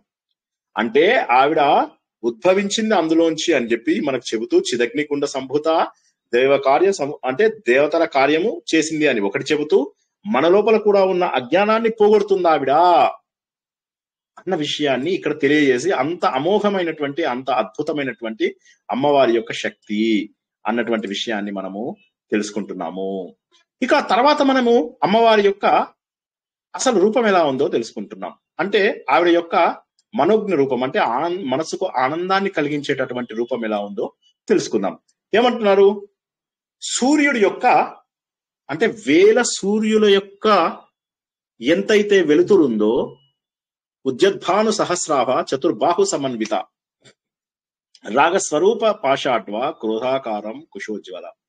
ఇక్కడ మనకు ఒక ఇది కొద్దిగా జాగ్రత్తగా వింటే ఇందులో కూడా రూపంని వర్ణిస్తూ ఒక తత్వాన్ని కూడా మనకు తెలియజేసింది. ఆవిడ ఏమంటున్నారు వేయి సూర్యుల కాంతితో ఆవిడ వస్తారు అన్న విషయాన్ని మనకు తెలియజేస్తున్నారు. ఒక చేతి లోపల రాగం అనేటటువంటి పాశాన్ని మరో చేతి లోపల కుడి చే సారీ ఎడమ చేతిలో రాగం అనేటటువంటి పాశాన్ని కుడి చేతి లోపల ఆవిడ ఆ క్రోధం అనేటటువంటి అంకుశాన్ని కలిగి ఉంది. రాగ ద్వేషాలను రాగానికేమో పాశం ప్రేమ స్వరూపం.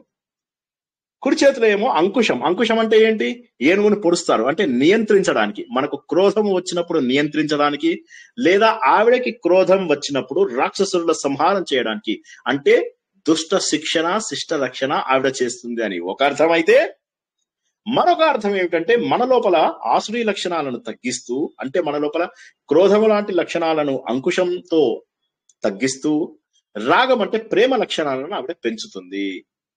వాటిని సరిగా నియంత్రిస్తుంది. అరిషడ్ వర్గాలను స- సరిగా నియంత్రిస్తుంది. ఎలా నియంత్రిస్తుంది? ఆవిడ వేయి సూర్యుల కాంతితో ఉంది. వేయి సూర్యుల కాంతి అంటే ఏంటి? సూర్యుడికి రథసారథి పేరు అనూరుడు. ఆయన కథ తెలుసుకుందాం. మనకు తెలుసు కశ్యప ప్రజాపతికి చాలా మంది భార్యలు. అందులోపల సునీత కద్రువ అని ఇద్దరు ఉన్నారు వినత కద్రువ. ఈ కద్రువ వినత ఇద్దరు కూడా ఒకరిపైన ఒకళ్ళు అసూయం అసూయ ఉండేదన్నమాట. వినతకి ఏమైందంటే పిల్లలు పుట్టాలి ఆ గుడ్డు మాత్రం అలాగ ఉండిపోయింది. ఎంతకు ఆ గుడ్డులోంచి పిల్లవాడు బయటికి రాడు. ఇటు చూస్తే కద్రువకు బోలెడన్ని పాములు. నాగవంశమంతా ఆవిడతోటి వచ్చింది కద్రువతోటి. ఈవిడకేమో బాధ. ఆవిడకేమో చక్కగా పిల్లలు పుట్టారు నాకు ఇంకా పిల్లలు పుట్టలేదు అనేటటువంటి బాధ. ఆ బాధ లోపల ఈవిడ ఏం చేయాలో తెలియక ఈ గుడ్డు ఎందుకు ఈ గుడ్డులోంచి ఇంకా కూడా బయటికి రావడం లేదు అని చెప్పేసి దాన్ని బ్రేక్ చేసేస్తుంది. బ్రేక్ చేసేసరికి అందులోపల నుంచి పూర్తిగా శరీరం డెవలప్ అవ్వనటువంటి ఒక వ్యక్తి అంటే నడుము దాకానే శరీరం డెవలప్ అయిన వ్యక్తి బయటికి వస్తాడు. కాళ్ళ నుంచి ఆయనకు డెవలప్ అవ్వదు. బయటకు వచ్చి అంటాడు అమ్మా కొన్ని రోజులు ఓపిక పట్టలేకపోయావు.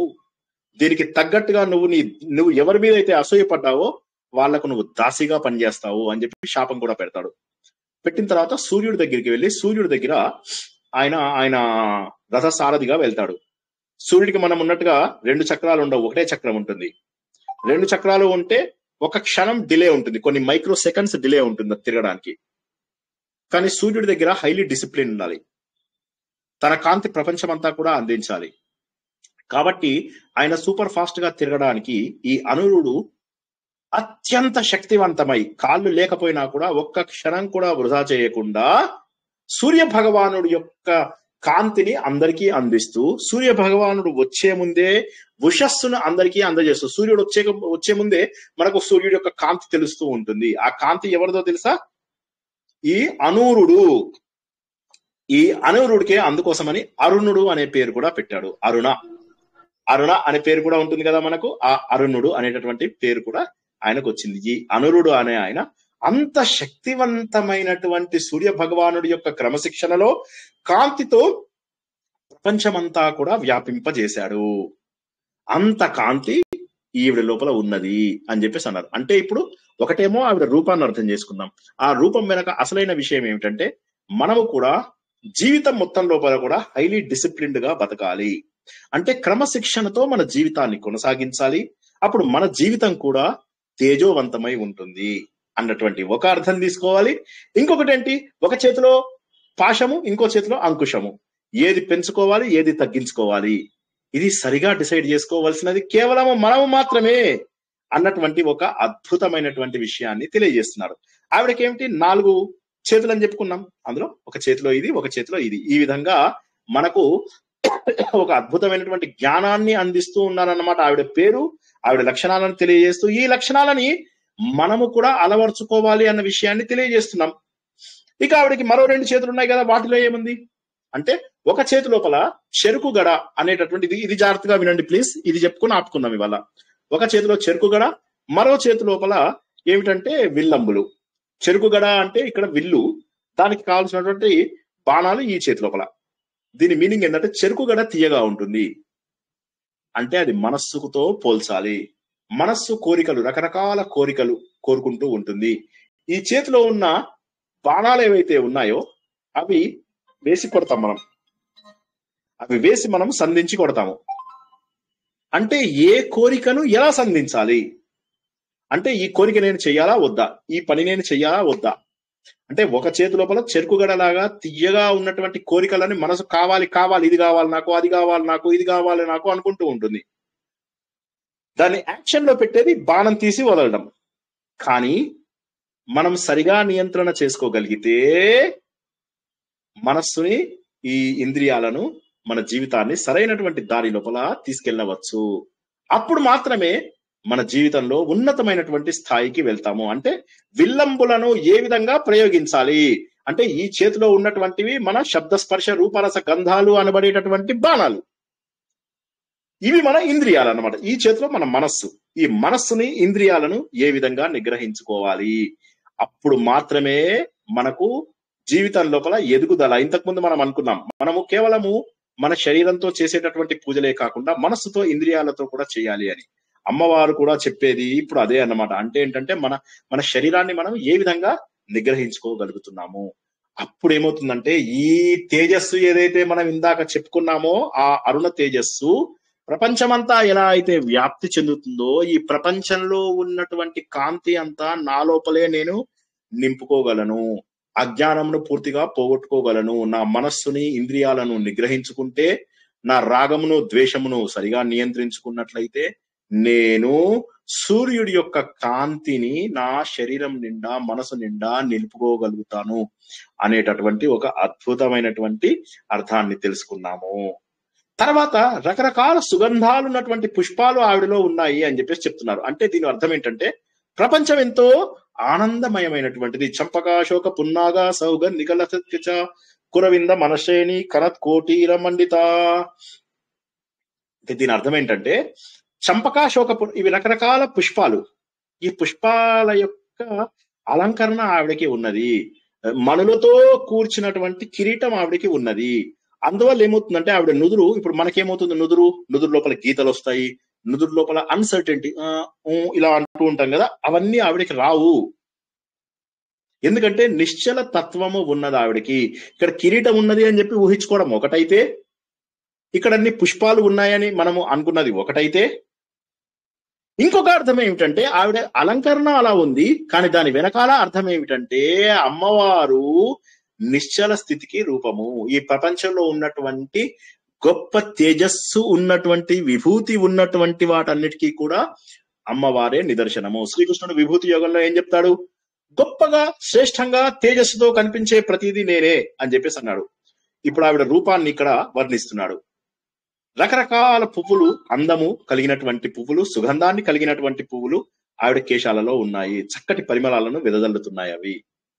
అని చెప్పేసి ఏమంటారు? చక్కటి మణులతో నింపినటువంటి ఈ మణులలో కూడా కురువిందం అనేటటువంటి ఆ ఉత్తమ జాతి పద్మరాగమైనటువంటి మణిని ఆవిడ పెట్టుకున్నటువంటిది కిరీటం ఇక్కడ ఉంది. కాబట్టి అది ఆవిడకి ఇక్కడ అందాన్ని కలగజేస్తోంది అని చెప్పేసి చెబుతున్నారు అనమాట అంటే దాని అర్థం ఏంటంటే ఆవిడ నుదురు నిశ్చలంగా ఉంటుంది. మనకు పడ్డట్టుగా ఇలా మరతలు పడ్డము ఆలోచన. ఎందుకంటే స్టేబుల్ స్టేట్ ప్రతి వ్యక్తికి కావాల్సినది ఒక స్టేబుల్ స్టేట్ ఈ స్టేబుల్ స్టేట్ ఎక్కడి నుంచి వస్తుంది అంటే భగవంతుడి యొక్క విభూతిని ప్రపంచంలో గుర్తించి తేజస్సుగా ఉన్నది. అంటే ఏమన్నాడు ఆయన? మునులలో వ్యాసుడను నేను కవులలో కుశనా కవి. అంటే శుక్రాచార్యుని నేను పాండవులలో అర్జునుడను నేను.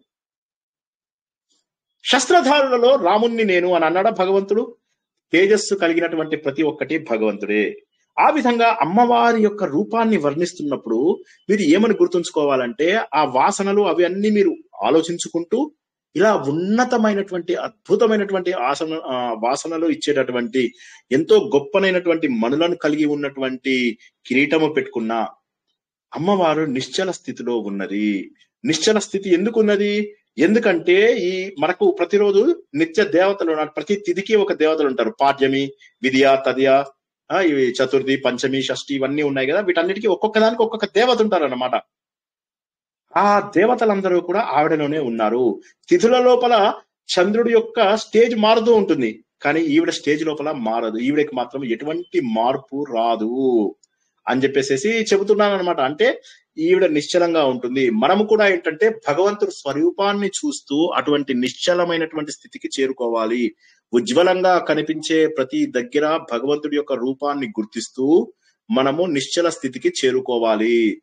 సరైనటువంటి సాంగత్యం ద్వారా సరైనటువంటి చైతన్యం ద్వారా భగవంతుడిని చేరుకోవాలి.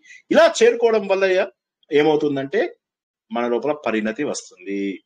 అంటే ఆవిడకి ఏంటంటే ఇలా చిన్న శివుడికి ఏం చేసింది ఆవిడ? మన్మధుడు ఎప్పుడైతే రాశీభూతం అయ్యాడో ఆయన బతికించమని ఇలా జస్ట్ చిన్న సైగ చేస్తుంది అంతే. చేయగానే అప్పుడు శరీరం లేకుండా మన్మధుడు తయారవుతాడు. అతని అనంగుడు అంటారు. అనంగుడు అంటే అంగములు లేనటువంటి వాడు. అంటే ఆవిడ చిన్న చి- ఆవిడ కొద్ది ఒక కనుచూపు చాలు. ఒక కొస చూపే చాలదా స్వామి? వికసించగా నా బ్రతుకు అంటారు కదా అలాగా ఒక చిన్న మమతతో కూడినటువంటి అంటే భగవంతుడి కృప ఇంత ఉన్నా చాలు. కొండంత కష్టం కంటే ఘోరంత అదృష్టం ఉండాలి. కాబట్టి మన్మధుణ్ణి ఏ విధంగానైతే మళ్ళీ బతికించగలిగిందో చిన్న కనురెప్పల కదలిక ద్వారా ఆ తల్లి యొక్క ముఖ చంద్ర కాంతి ఏదైతే ఉందో అందులోపల అందమైనటువంటి చేపల లాంటి కదలిక ఉంది. చేపలు ఏం చేస్తాయి జనరల్లీ చేపలు కనురెప్పలు కొట్టవు. కనురెప్పలు కొట్టుకోవు అవి. కనురెప్పలు కొట్టకుండా ఎందుకంటే వాటికి కనురెప్పలు ఉండవు అన్నమాట. కాబట్టి అవి కళ్ళు తెరిచే పడుకుంటాయి. అదే విధంగా అమ్మవారివి కూడా విశాలమైనటువంటి నేత్రాలు. అందుకే కామాక్షి విశాలాక్షి ఇలా అక్షి అక్షి అక్షి అని ఆవిడ రకరకాల ఆలయాలని మనం చూస్తూ ఉంటాము. కంచి కామాక్షి మధుర మీనాక్షి కాశీ విశాలాక్షి అంటే కళ్ళు పెద్దవి అని చెప్పేసి చెప్తే ఏంటంటే చేపల గుణములు ఉన్నటువంటి విశాలమైన నేత్రాలు ఆవిడవి. అంటే ఏంటంటే మనని చూడడానికి తన కనురెప్పలు కూడా కొట్టకుండా మన యోగక్షేమాలు మనం చేస్తున్నటువంటి ప్రతి పనిని ఆవిడ గుర్తిస్తూ ఉంటుంది. మన పాపపుణ్యాలని చూస్తూ మనకు సరైనటువంటి గుణపాఠం చెబుతూ ఉంటుంది. బాబు నువ్వు ఇలా చేయకు. నీకు అవసరమైతే ఎందుకు? ఇప్పుడు మనం తప్పు చేస్తుంటే మన మనసు మనకు చెప్తూ ఉంటుంది ఈ పని చెయ్యకు అని.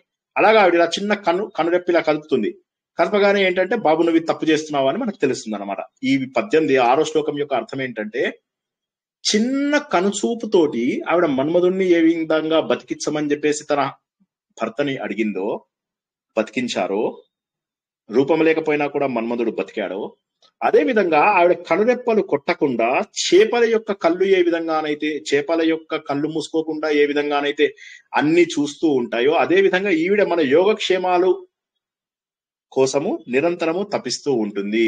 ఒకవేళ మనం తప్పు చేస్తే మన మనసుతో సిగ్నల్స్ పంపిస్తుంది. దానిని చంపుకోవద్దు.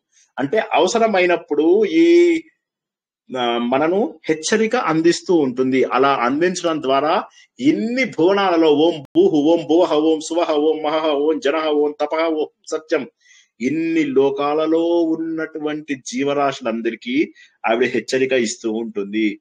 ఆ హెచ్చరికలను ఎట్టి పరిస్థితులలో కూడా మనము నిగ్ర ఇగ్నోర్ చేయకూడదు అలక్ష్యము పెట్టకూడదు అన్న విషయాన్ని మనం తెలుసుకుని ఈ రోజు ఇక్కడికి ఆపుకుందాము. ఎందుకంటే నేను ఇవాళ పది చెబుదాం అనుకున్నాను కానీ ఆరు శ్లోకాలకే మనకు గంట సమయము పూర్తిగా అయిపోయింది.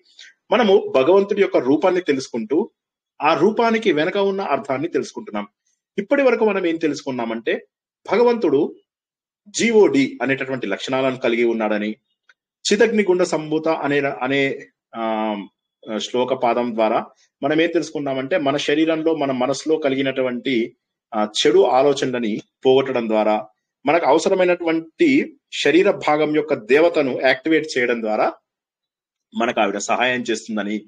ఆవిడకు ఉన్నటువంటి నాలుగు చేతులలో ఒక చేతులంలో రాగము మరో చేతులలో ఆ అంకుశము అనే క్రోధాన్ని క్రోధాన్ని అంచడము రాగంని పెంచుకోవడము అంటే విత్ ఇన్ లిమిట్స్ ఒక చేతి లోపల మనస్సు చెరుకుగడ మరో చేతి లోపల శ్రోత చక్షు ఈ ఇంద్రియాలు ఏవైతే ఐదు ఇంద్రియాలు ఉన్నాయో వీటిని వాటిని ఏ విధంగా నిగ్రహించుకోవాలి అనే విషయాన్ని ఆవిడ తెలియజేసింది.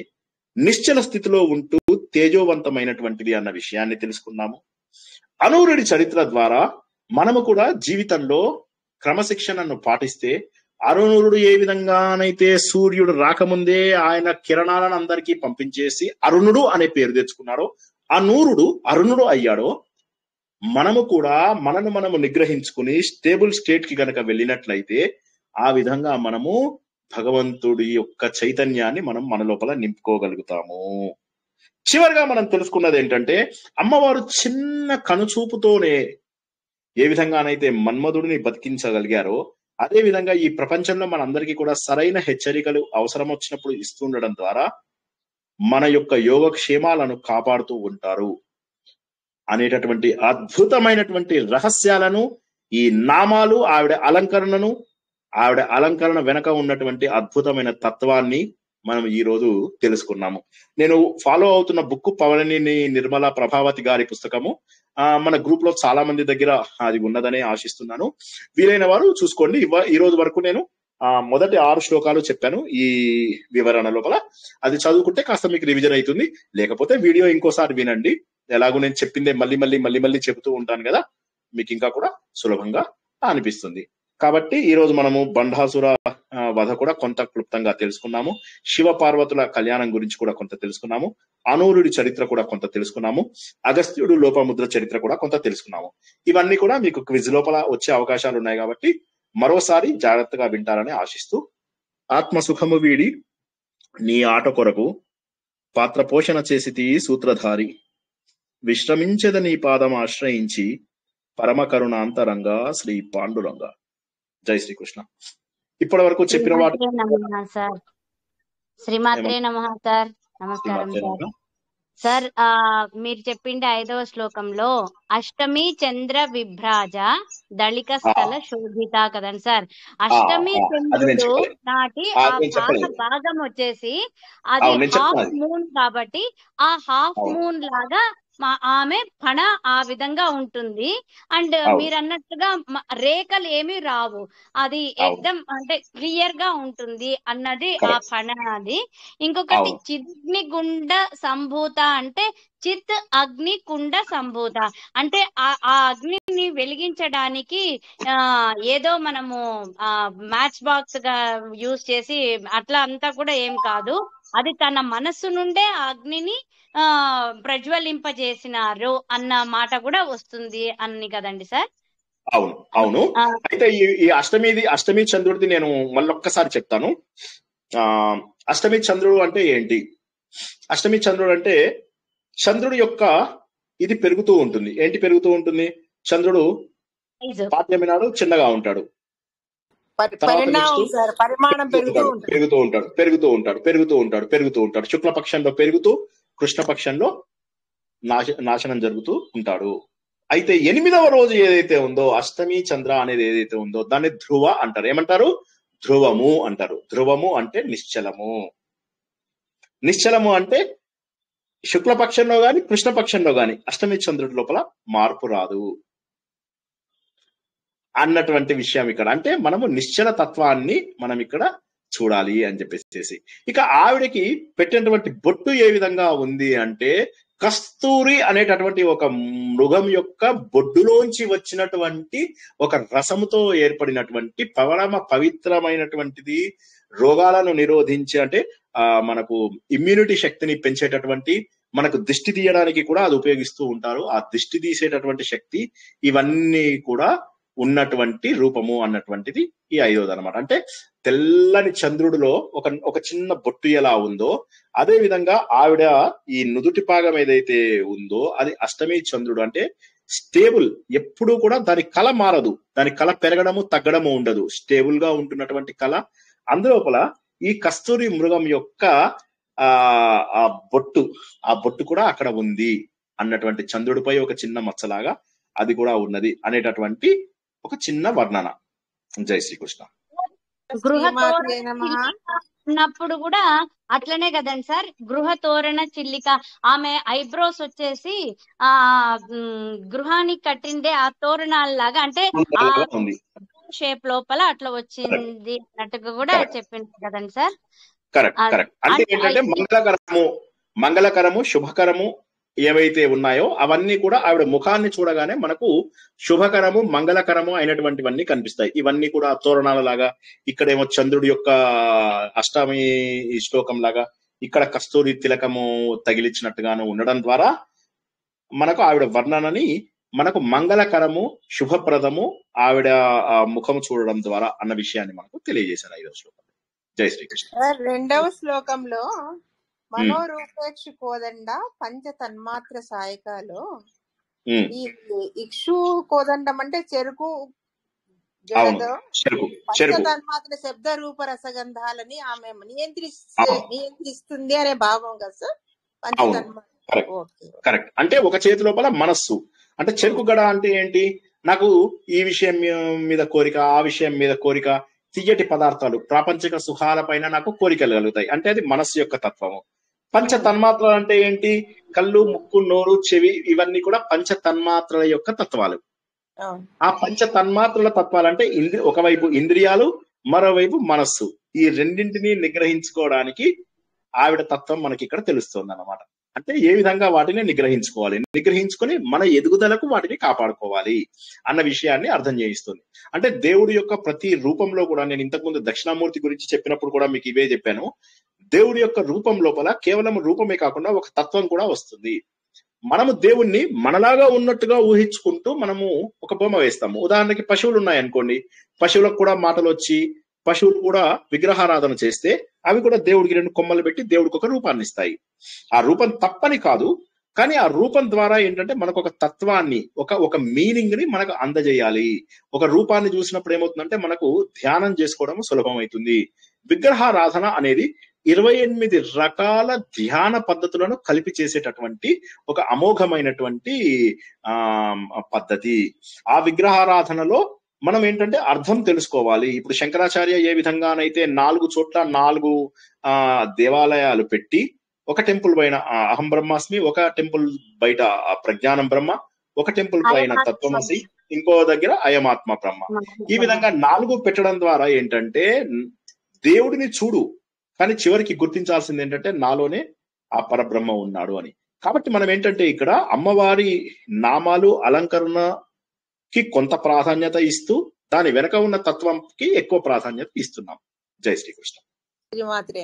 Thank you thank you మనస్సు అనే ఆ ఈ కోద అంటే కోదండంతో ఆ ఈ పంచ తన్మాత్రలు శబ్ద రూప రస గంధ ఇవన్నీ మనము బాణాలుగా సంధించి మనం కంట్రోల్ చేసుకోవాలి అన్న. మాట. అంతే కదండి సార్? కరెక్ట్ కరెక్ట్ ఆ పంచ తన్మాత్రలు అనే బాణాలనే ఇంద్రియాలు అంటాం మనము. కళ్ళు ముక్కు నోరు చెవి స్పర్శ వీటిని పంచ తన్మాత్రల యొక్క భాగాలు అన్నమాట ఈ పంచ తన్మాత్రలే మనకు శరీరంలో అన్ని ఇది కావాలి అది కావాలి అని చెప్పేసి కోరిక. ఈ పక్కన ఏముంది? చెరుకుగడ. చెరుకుగడ అంటే మనస్సు. మనస్సు ఇంద్రియాలు రెండు కలిస్తే ఏమవుతుంది? శ్రీకృష్ణుడు ఏం చెప్తాడు? మన శరీరము ఒక రథము. ఈ రథానికి ఇంద్రియాలు గుర్రాలు. ఆ? ఆత్మ రధికుడు మనస్సు కళ్ళెం దానికి సారథి బుద్ధి. బుద్ధి కళ్ళెములను మనసుని ఇంద్రియాలను కళ్ళెములు గుర్రములను సరిగా నియంత్రించడం ద్వారా మనము సరైన దారిలో వెళ్ళాలి అని ఏదైతే తత్వం తెలుసుకున్నామో అదే తత్వం ఇక్కడ మళ్ళీ మనము ఇంకొక అర్థంలో చెరుకుగడ ద్వారాను పంచ తన్మాత్రలు అనబడేటటువంటి ఇంద్రియాల ద్వారాను వాటిని నిగ్రహించుకోవడం కోసము ఒక చేతిలో ఆ పాశము ఇంకో చేతి లోపల అంకుశము. ఈ రెండింటి ద్వారా పాశం ద్వారా నిగ్రహించుకోవడము అంకుశం ద్వారా పొడవడము. క్రోధం వచ్చినప్పుడు పొడవడము పాశం వచ్చినప్పుడు పాశం అంటే పట్టుకోవడం తాడుతో గట్టిగా పట్టు ఉంచడం. రాగాన్ని కూడా మరీ ఎక్కువ పెంచుకోకుండా పాశము ఇటేమో అంకుశం అంటే క్రోధం వచ్చినప్పుడు దాన్ని బలవంతంగా తగ్గించాలి. అది ఇలాగా ఆవిడ నాలుగు చేతులు నాలుగు రకాల లక్షణాలను మనకు తెలియజేస్తున్నాయి జై శ్రీకృష్ణ మరి ప్యారలల్గా చూసుకుంటే అక్కడేమో భగవద్గీతలో మనశ్శష్టాని ఇంద్రియాని అట్లా చదువుకున్నాము ఇక్కడ. కూడా మనస్సును ఈ విల్లంగా. అనేది మీరు చెప్తుంటే ఈవెన్ శ్రీమాత అనే మాట పేరు లోపల చెప్తున్నా కూడా ఆ బీజం స్వరూపంలో ఉంటుంది అది. మన ఎన్నో జన్మల దీంట్లోపల మనం చేసుకున్న పాప పుణ్యాలు అవి మనతో వస్తూ ఉంటాయి. ఆ బీజం ఎవరి గర్భం లోపల దాల్చాలా అనేది కూడా అమ్మవారిని నియంత్రి అంటే నిశ్చయిస్తారు. చేస్తారు అన్న మాట అక్కడ కూడా మనం చదువుకున్నాం కదండి సార్. భగవద్గీతలో కూడా కూడా చదువుకున్నాము. అది. రిపీట్ అయినట్లుగా ఉంది. అంటే. ఇవంతా చాలా కరెక్ట్గా చెప్పారు. చాలా కరెక్ట్గా చెప్పారు. అంతా చూసుకుంటే దేవుడు అంటే ఫెమినైన్ జెండర్ అట్లా అంతా ఏమి జెండర్తో సంబంధం. లేదు. సంబంధం లేదు సంబంధం లేదు. ఈ విషయాన్ని మనము దేవుడికి జెండర్ లేదు అన్న విషయాన్ని మనము చాలా సార్లు తెలుసుకున్నాం. ఎందుకంటే ఇప్పుడు ఒక్కొక్క పురాణంలో ఒక్కొక్క దేవుడు ఉంటాడు. ఇప్పుడు ఫర్ ఎగ్జాంపుల్ నేను నాగార్జున సినిమాకి వెళ్తే నాగార్జున హీరో సందీప్ కిషన్ సినిమాకి వెళ్తే సందీప్ కిషన్ హీరో ఎవడన్నా వచ్చి నాగార్జున పెద్ద హీరో సందీప్ కిషన్ చిన్న హీరో అంటే నేను ఎలా ఒప్పుకుంటాను? ఎవరి సినిమాకు వారే హీరో. కంపేర్ చేయకూడదు. అదే విధంగా పురాణాలన్నీ కూడా హీరో వదిలేసి మిగతా స్టోరీ అంతా దాదాపుగా సేమ్ ఉంటాయి.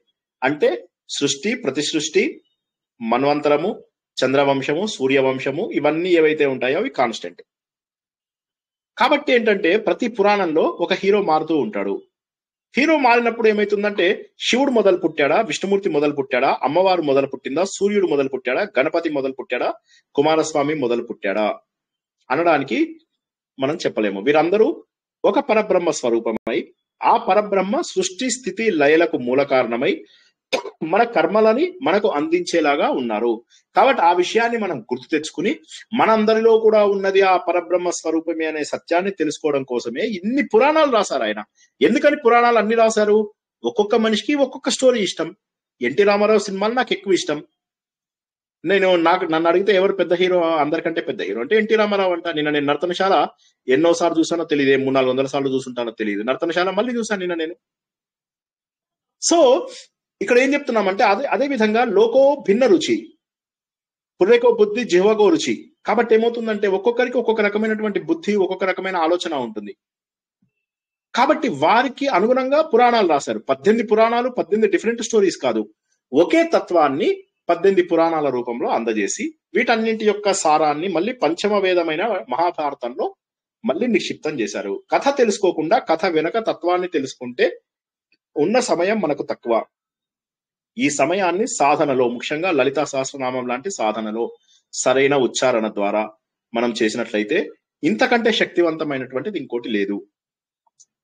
దశ మహావిద్యలలో మూడవది అయినటువంటి లలితా సహస్రనామం చేయడం ద్వారా అత్యంత సులభంగా మనము మన పాపముల యొక్క మూటని కరిగించుకుంటాము. జై శ్రీకృష్ణ. సార్ క్లుప్తంగా భగవద్గీత సారమే లలిత అనిపిస్తుంది సార్.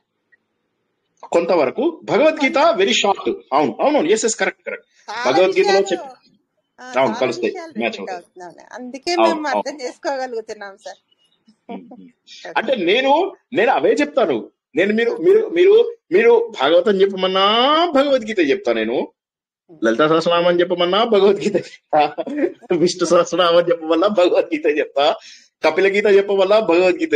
అంటే ఏంటంటే అన్నింటిలో ఉన్నటువంటిది ఒకే తత్వము తత్వంలో మార్పు లేదు కేవలము దాన్ని ప్రజెంట్ చేసే మెథడాలజీ ఈజ్ డిఫరెంట్ ఉన్నటువంటి తత్వం ఒకటే. ఏమిటి? భగవంతుడు ఒక్కడే. ఆయనకు రూపం లేదు. మన కోసం రూపం ఎత్తాడు. మనందరము కూడా భగవంతుడు అంశలము. ఆ విషయాన్ని తెలుసుకోవడం కోసం మనం సాధన చేయాలి. సరైన సాధన చేయకపోతే రేపు యమధర్మరాజు బ్యాండ్ బజాయిస్తాడు కదా ఆ రోజు బాధపడాలి. ఎందుకు?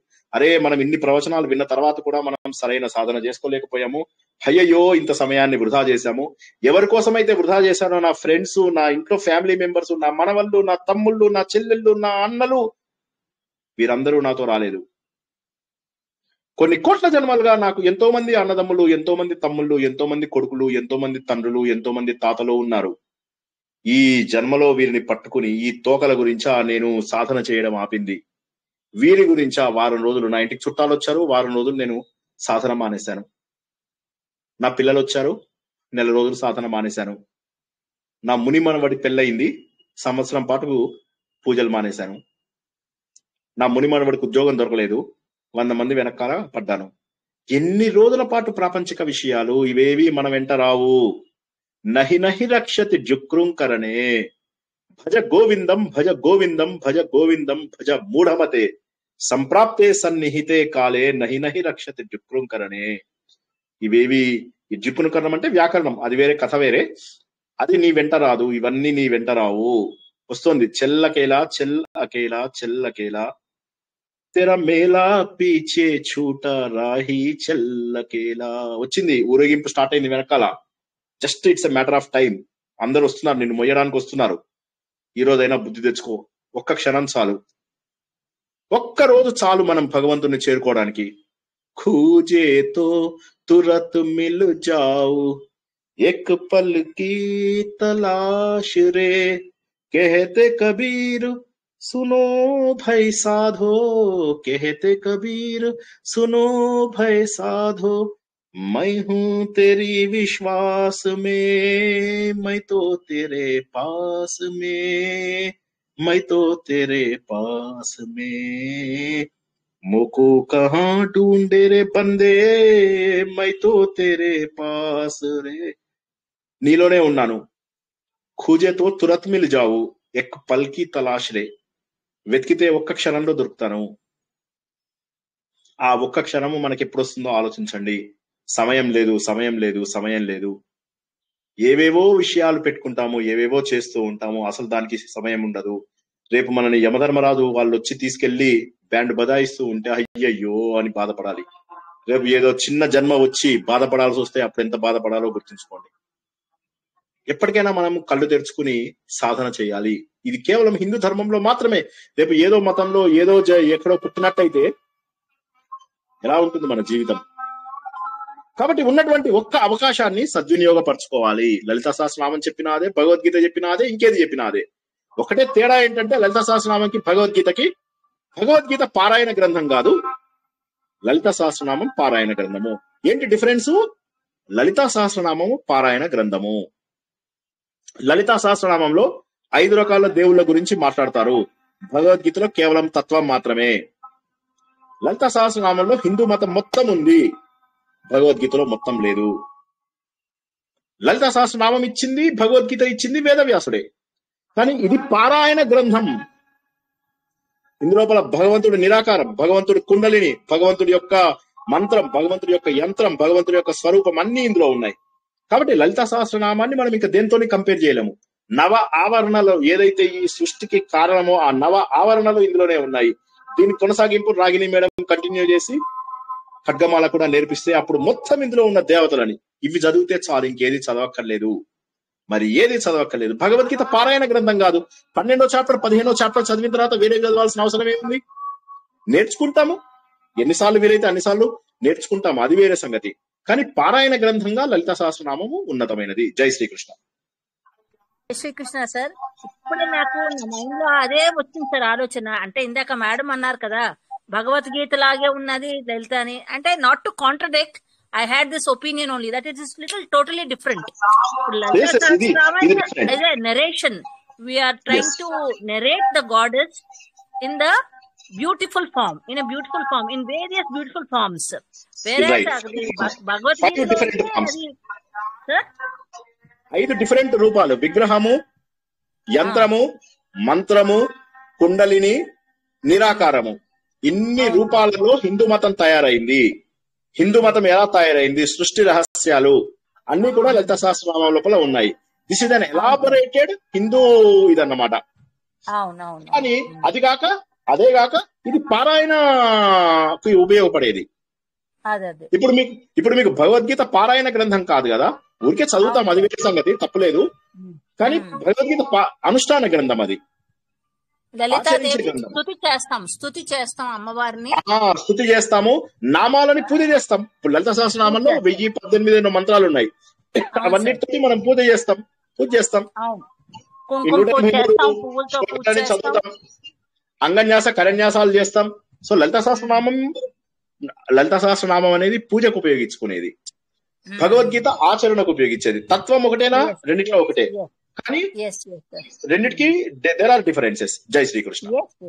జై Shrikrishna sir thank you very much sir నా మైండ్లో. ఉన్నది మీరు అన్నది కరెక్ట్ కరెక్ట్ సార్ నా ఉద్దేశము తత్వం ఒకటే అని అంతే. అవును అవును అవును. ఆచరణ వేరే. అనుష్ఠానం వేరే కానీ జిస్ట్ అయితే ఒకటి జస్ట్ ఒకటే. Hundred percent correct. ఒకటే. నేను చెప్పదలుచుకుంది థ్యాంక్ యూ మేడం గారు. Thank you sir thank you మీరు అన్నది కరెక్టే. కాదు మీరు అన్నది ఇప్పటికీ కరెక్టే. తత్వంలో తేడా లేదు. కానీ this is an elaborated version of Hindu religion ఇప్పుడు మీకు భగవద్గీతలో అంత లేదు మీకు. భగవద్గీతలో కర్మ భక్తి రాజయోగాలు జ్ఞాన యోగాల గురించి చెప్పేసి వదిలేశారు. ఇక్కడ ఏంటంటే అసలు సృష్టిలో ఎలా ప్రారంభమైంది? సృష్టిలో ఏం జరిగింది? మా కుండలిని విద్యను ఎట్లా చేయాలి? ఈ గ్రంథులు ఎలా విడదీయాలి? ఇవన్నీ కూడా చెప్పారు. అవన్నీ మనకు ఉత్తర గీతలో కూడా తెలుసుకున్నాము. రకరకాల తత్వాలు కలిపితే లలిత సహస్రనామం ప్లస్ ఇది పారాయణానికి ఉపయోగిస్తారు. బట్ తత్వం ఒకటే కరెక్ట్. అంటే ఒక డిస్కషన్ రావడం మేరైంది కదా సార్. ఇప్పుడు క్లారిటీ. వచ్చింది. సార్ చిన్న డౌట్. ఇప్పుడు తత్వం అన్నారు కదా అంటే భగవద్గీత అనేది చిన్న వైరాగ్యం తత్వం తీసుకొస్తుంది. Right sir? Is that thinking right Bhagavad Gita ఆచరణ. ఆచరణ అంటే ఏంటి? హిందూ ధర్మంలో నాలుగు రకాల పద్ధతుల్లో జనాలు జీవిస్తారు. కొంతమంది డ్యూటీ మైండెడ్ పీపుల్ ఉంటారు. ఏది ఆశించకుండా వాళ్ళ కోసం కర్మయోగం. ఎవరైతే తొందరగా దేవుడికి కనెక్ట్ అవుతారో వారికి వారి కోసం భక్తి యోగం. ఎవరైతే ఎక్స్పీరియన్స్ కావాలి శరీరంలో అనుకుంటారో వారి కోసం ఆరో అధ్యాయం ధ్యాన యోగం. లేదా ఆత్మ సంయమన యోగం. కొంతమంది హేతువాదులు ఉంటారు. లాజిక్ లేనిదే నమ్మరు. వారి కోసమని చివరి ఆరు అధ్యాయాలు జ్ఞానయోగం. ఇలాగ భగవద్గీత నాలుగు నలుగురు మనుషులకి ఏమేం పాట పాటించాలి అనేవి చెప్పేది భగవద్గీత. లలితా వే హిందూ ధర్మం మొత్తం హిందూ ధర్మం మొత్తం ఇందులో ఇంక్లూడ్ చేసేసారన్నమాట. జై ఓకే శ్రీకృష్ణ. జై శ్రీకృష్ణ. Thank you sir. అది ఆచరణ ఇది పారాయణం అంతే తేడా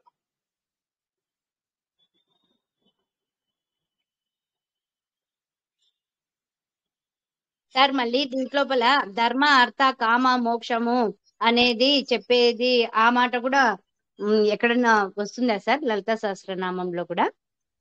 అంటే పర్టికులర్గా రాదు కానీ వస్తుంది. ఎక్కడో అంటే మోక్షము సాధించాలి అనేది అల్టిమేట్ గోలు ధర్మబద్ధమైన జీవితం జరుపుతూ మోక్షం సాధించాలి అనేటటువంటిది ఉంది. అయితే కర్మయోగం కంటే కూడా ఇందులో ఎక్కువగా ఏంటంటే మంత్రము యంత్రము కుండలిని రూపము తర్వాత తంత్ర విద్య తంత్ర విద్య ఇటువంటివన్నీ కూడా ఎక్కువ చెప్పారు. కర్మయోగం కొద్దిగా తక్కువ ఇందులో కర్మకు కావాల్సిన ధర్మార్థ కామ మోక్షాలు కొద్దిగా తక్కువ ఇందులో అల్టిమేట్గా గోల్ ఒకటే కదా సార్. గోల్ ఒకటే గోల్ ఒకటే. ఏదైనా కూడా అల్టిమేట్ గోలు హిందూ ధర్మంలో ఒకటే. ఏంటంటే ధర్మార్థ కామ మోక్షాలు. దానికి కావలసినటువంటి బ్రహ్మచర్యాశ్రమము గృహస్థాశ్రమము వానప్రస్థాశ్రమము సన్యాసాశ్రమము. మళ్ళొకసారి చెప్తున్నా. ఫస్ట్ ఈ గ్రూప్లో ట్వంటీ ఇయర్స్ ఉన్న వాళ్ళందరూ బ్రహ్మచర్యాశ్రమం. యాభై ఏళ్ళ లోపల ఉన్న వాళ్ళందరూ కూడా గృహస్థాశ్రమం. యాభై నుంచి డెబ్బై వరకు ఉన్న వాళ్ళందరూ కూడా వానప్రస్థాశ్రమం. డెబ్బై పైన ఉన్న వాళ్ళందరూ సన్యాసాశ్రమం స్వీకరించాలి. అకార్డింగ్ టు హిందూ ధర్మం. జై శ్రీకృష్ణ. ఆ పరిణతి రావాలి. అంటే సన్యాసం తీసుకోవాలంటే నలగ హిమాలయాస్కి వెళ్ళిపోయి కాషాయ బట్టలు కట్టుకు రావడం కాదు. బట్ పరిణతి రావాలి.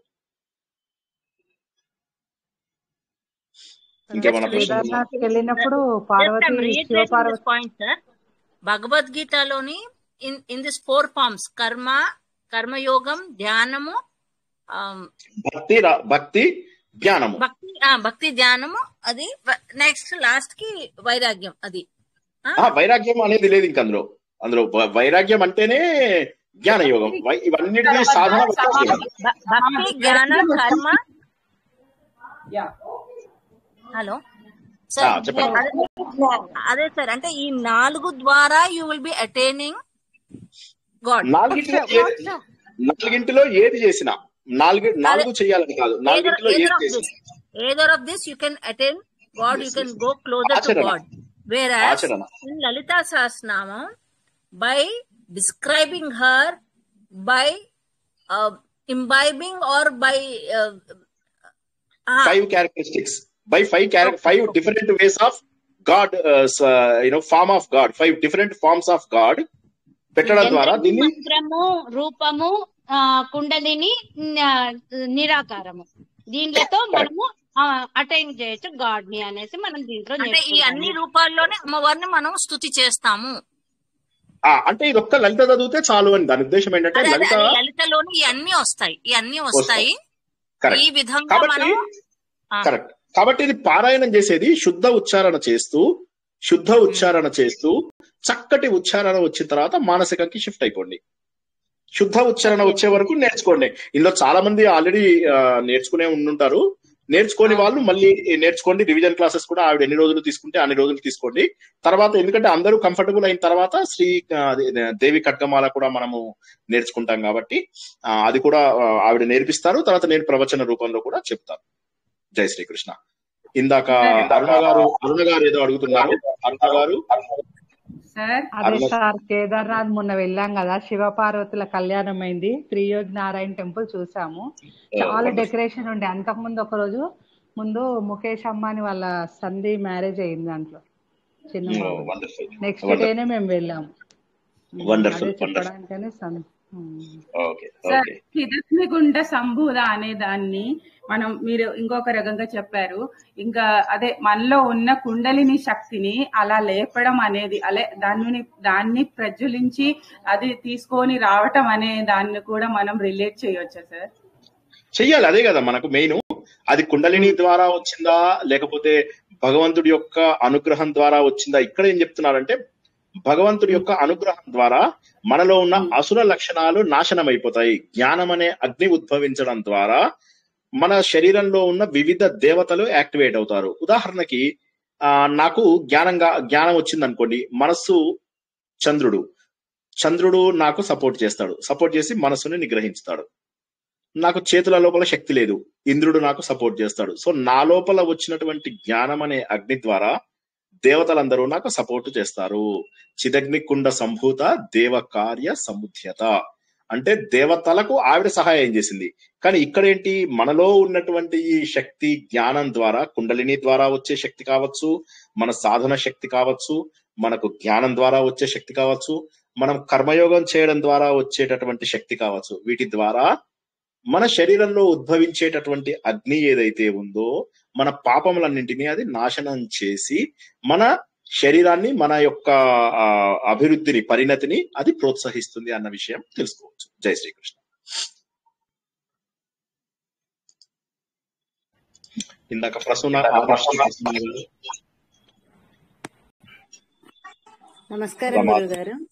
రమాదేవి గారు చెప్పండి. మేడం. చిదగ్నికుండ సంభూత అంటే ఆ శివుడు తనలోని శక్తిని మూడో కన్ను నుండి తీసి అంటే దేవకార్యాన్ని చేయడానికే కదా లలితామాతని అగ్నికుండాన్ని వెలిగించిండ్రు అనే అనే విషయాన్ని కొందరు ప్రవచకుల ద్వారా తెలుసుకున్నాం. అది కూడా అది అది తప్పు అది తప్పు. ఏంటంటే చిదగ్నికుండ సంభూత అంటే ఏంటంటే దేవతలందరూ కలిసి మణిద్వీపంలో ఉన్న లలితాంబను ఆవిడ యొక్క ఆ అనుగ్రహం కోసం అని చెప్పి శివుడు ఉద్భవించలేదు ఆవిడని. ఆవిడని పుట్టించింది శివుడు కాదు.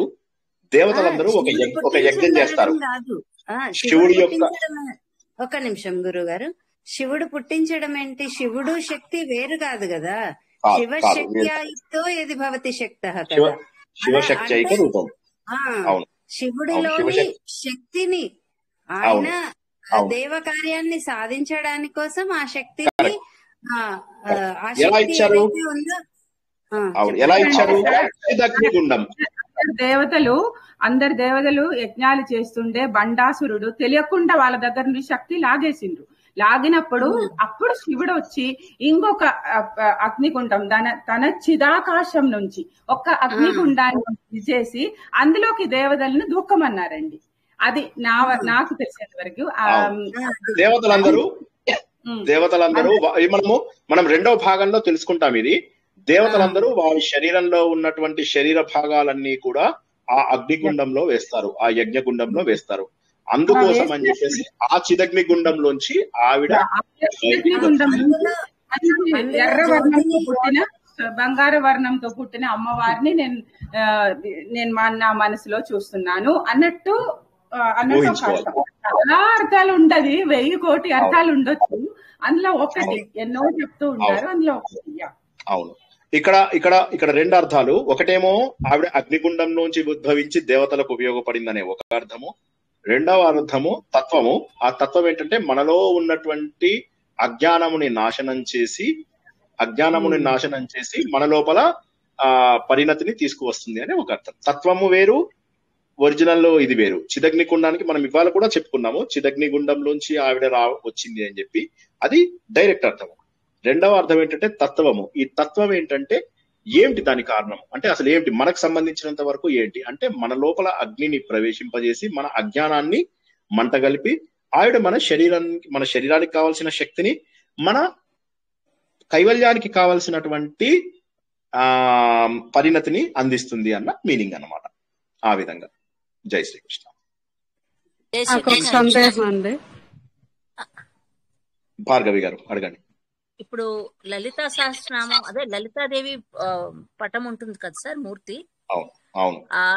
We see that she is sitting on lord Shiva what does that exactly depict అంటే as a powerful Shiva Shakti Shiva Shakti రూపము అని చెప్పి తెలుసుకోవచ్చు.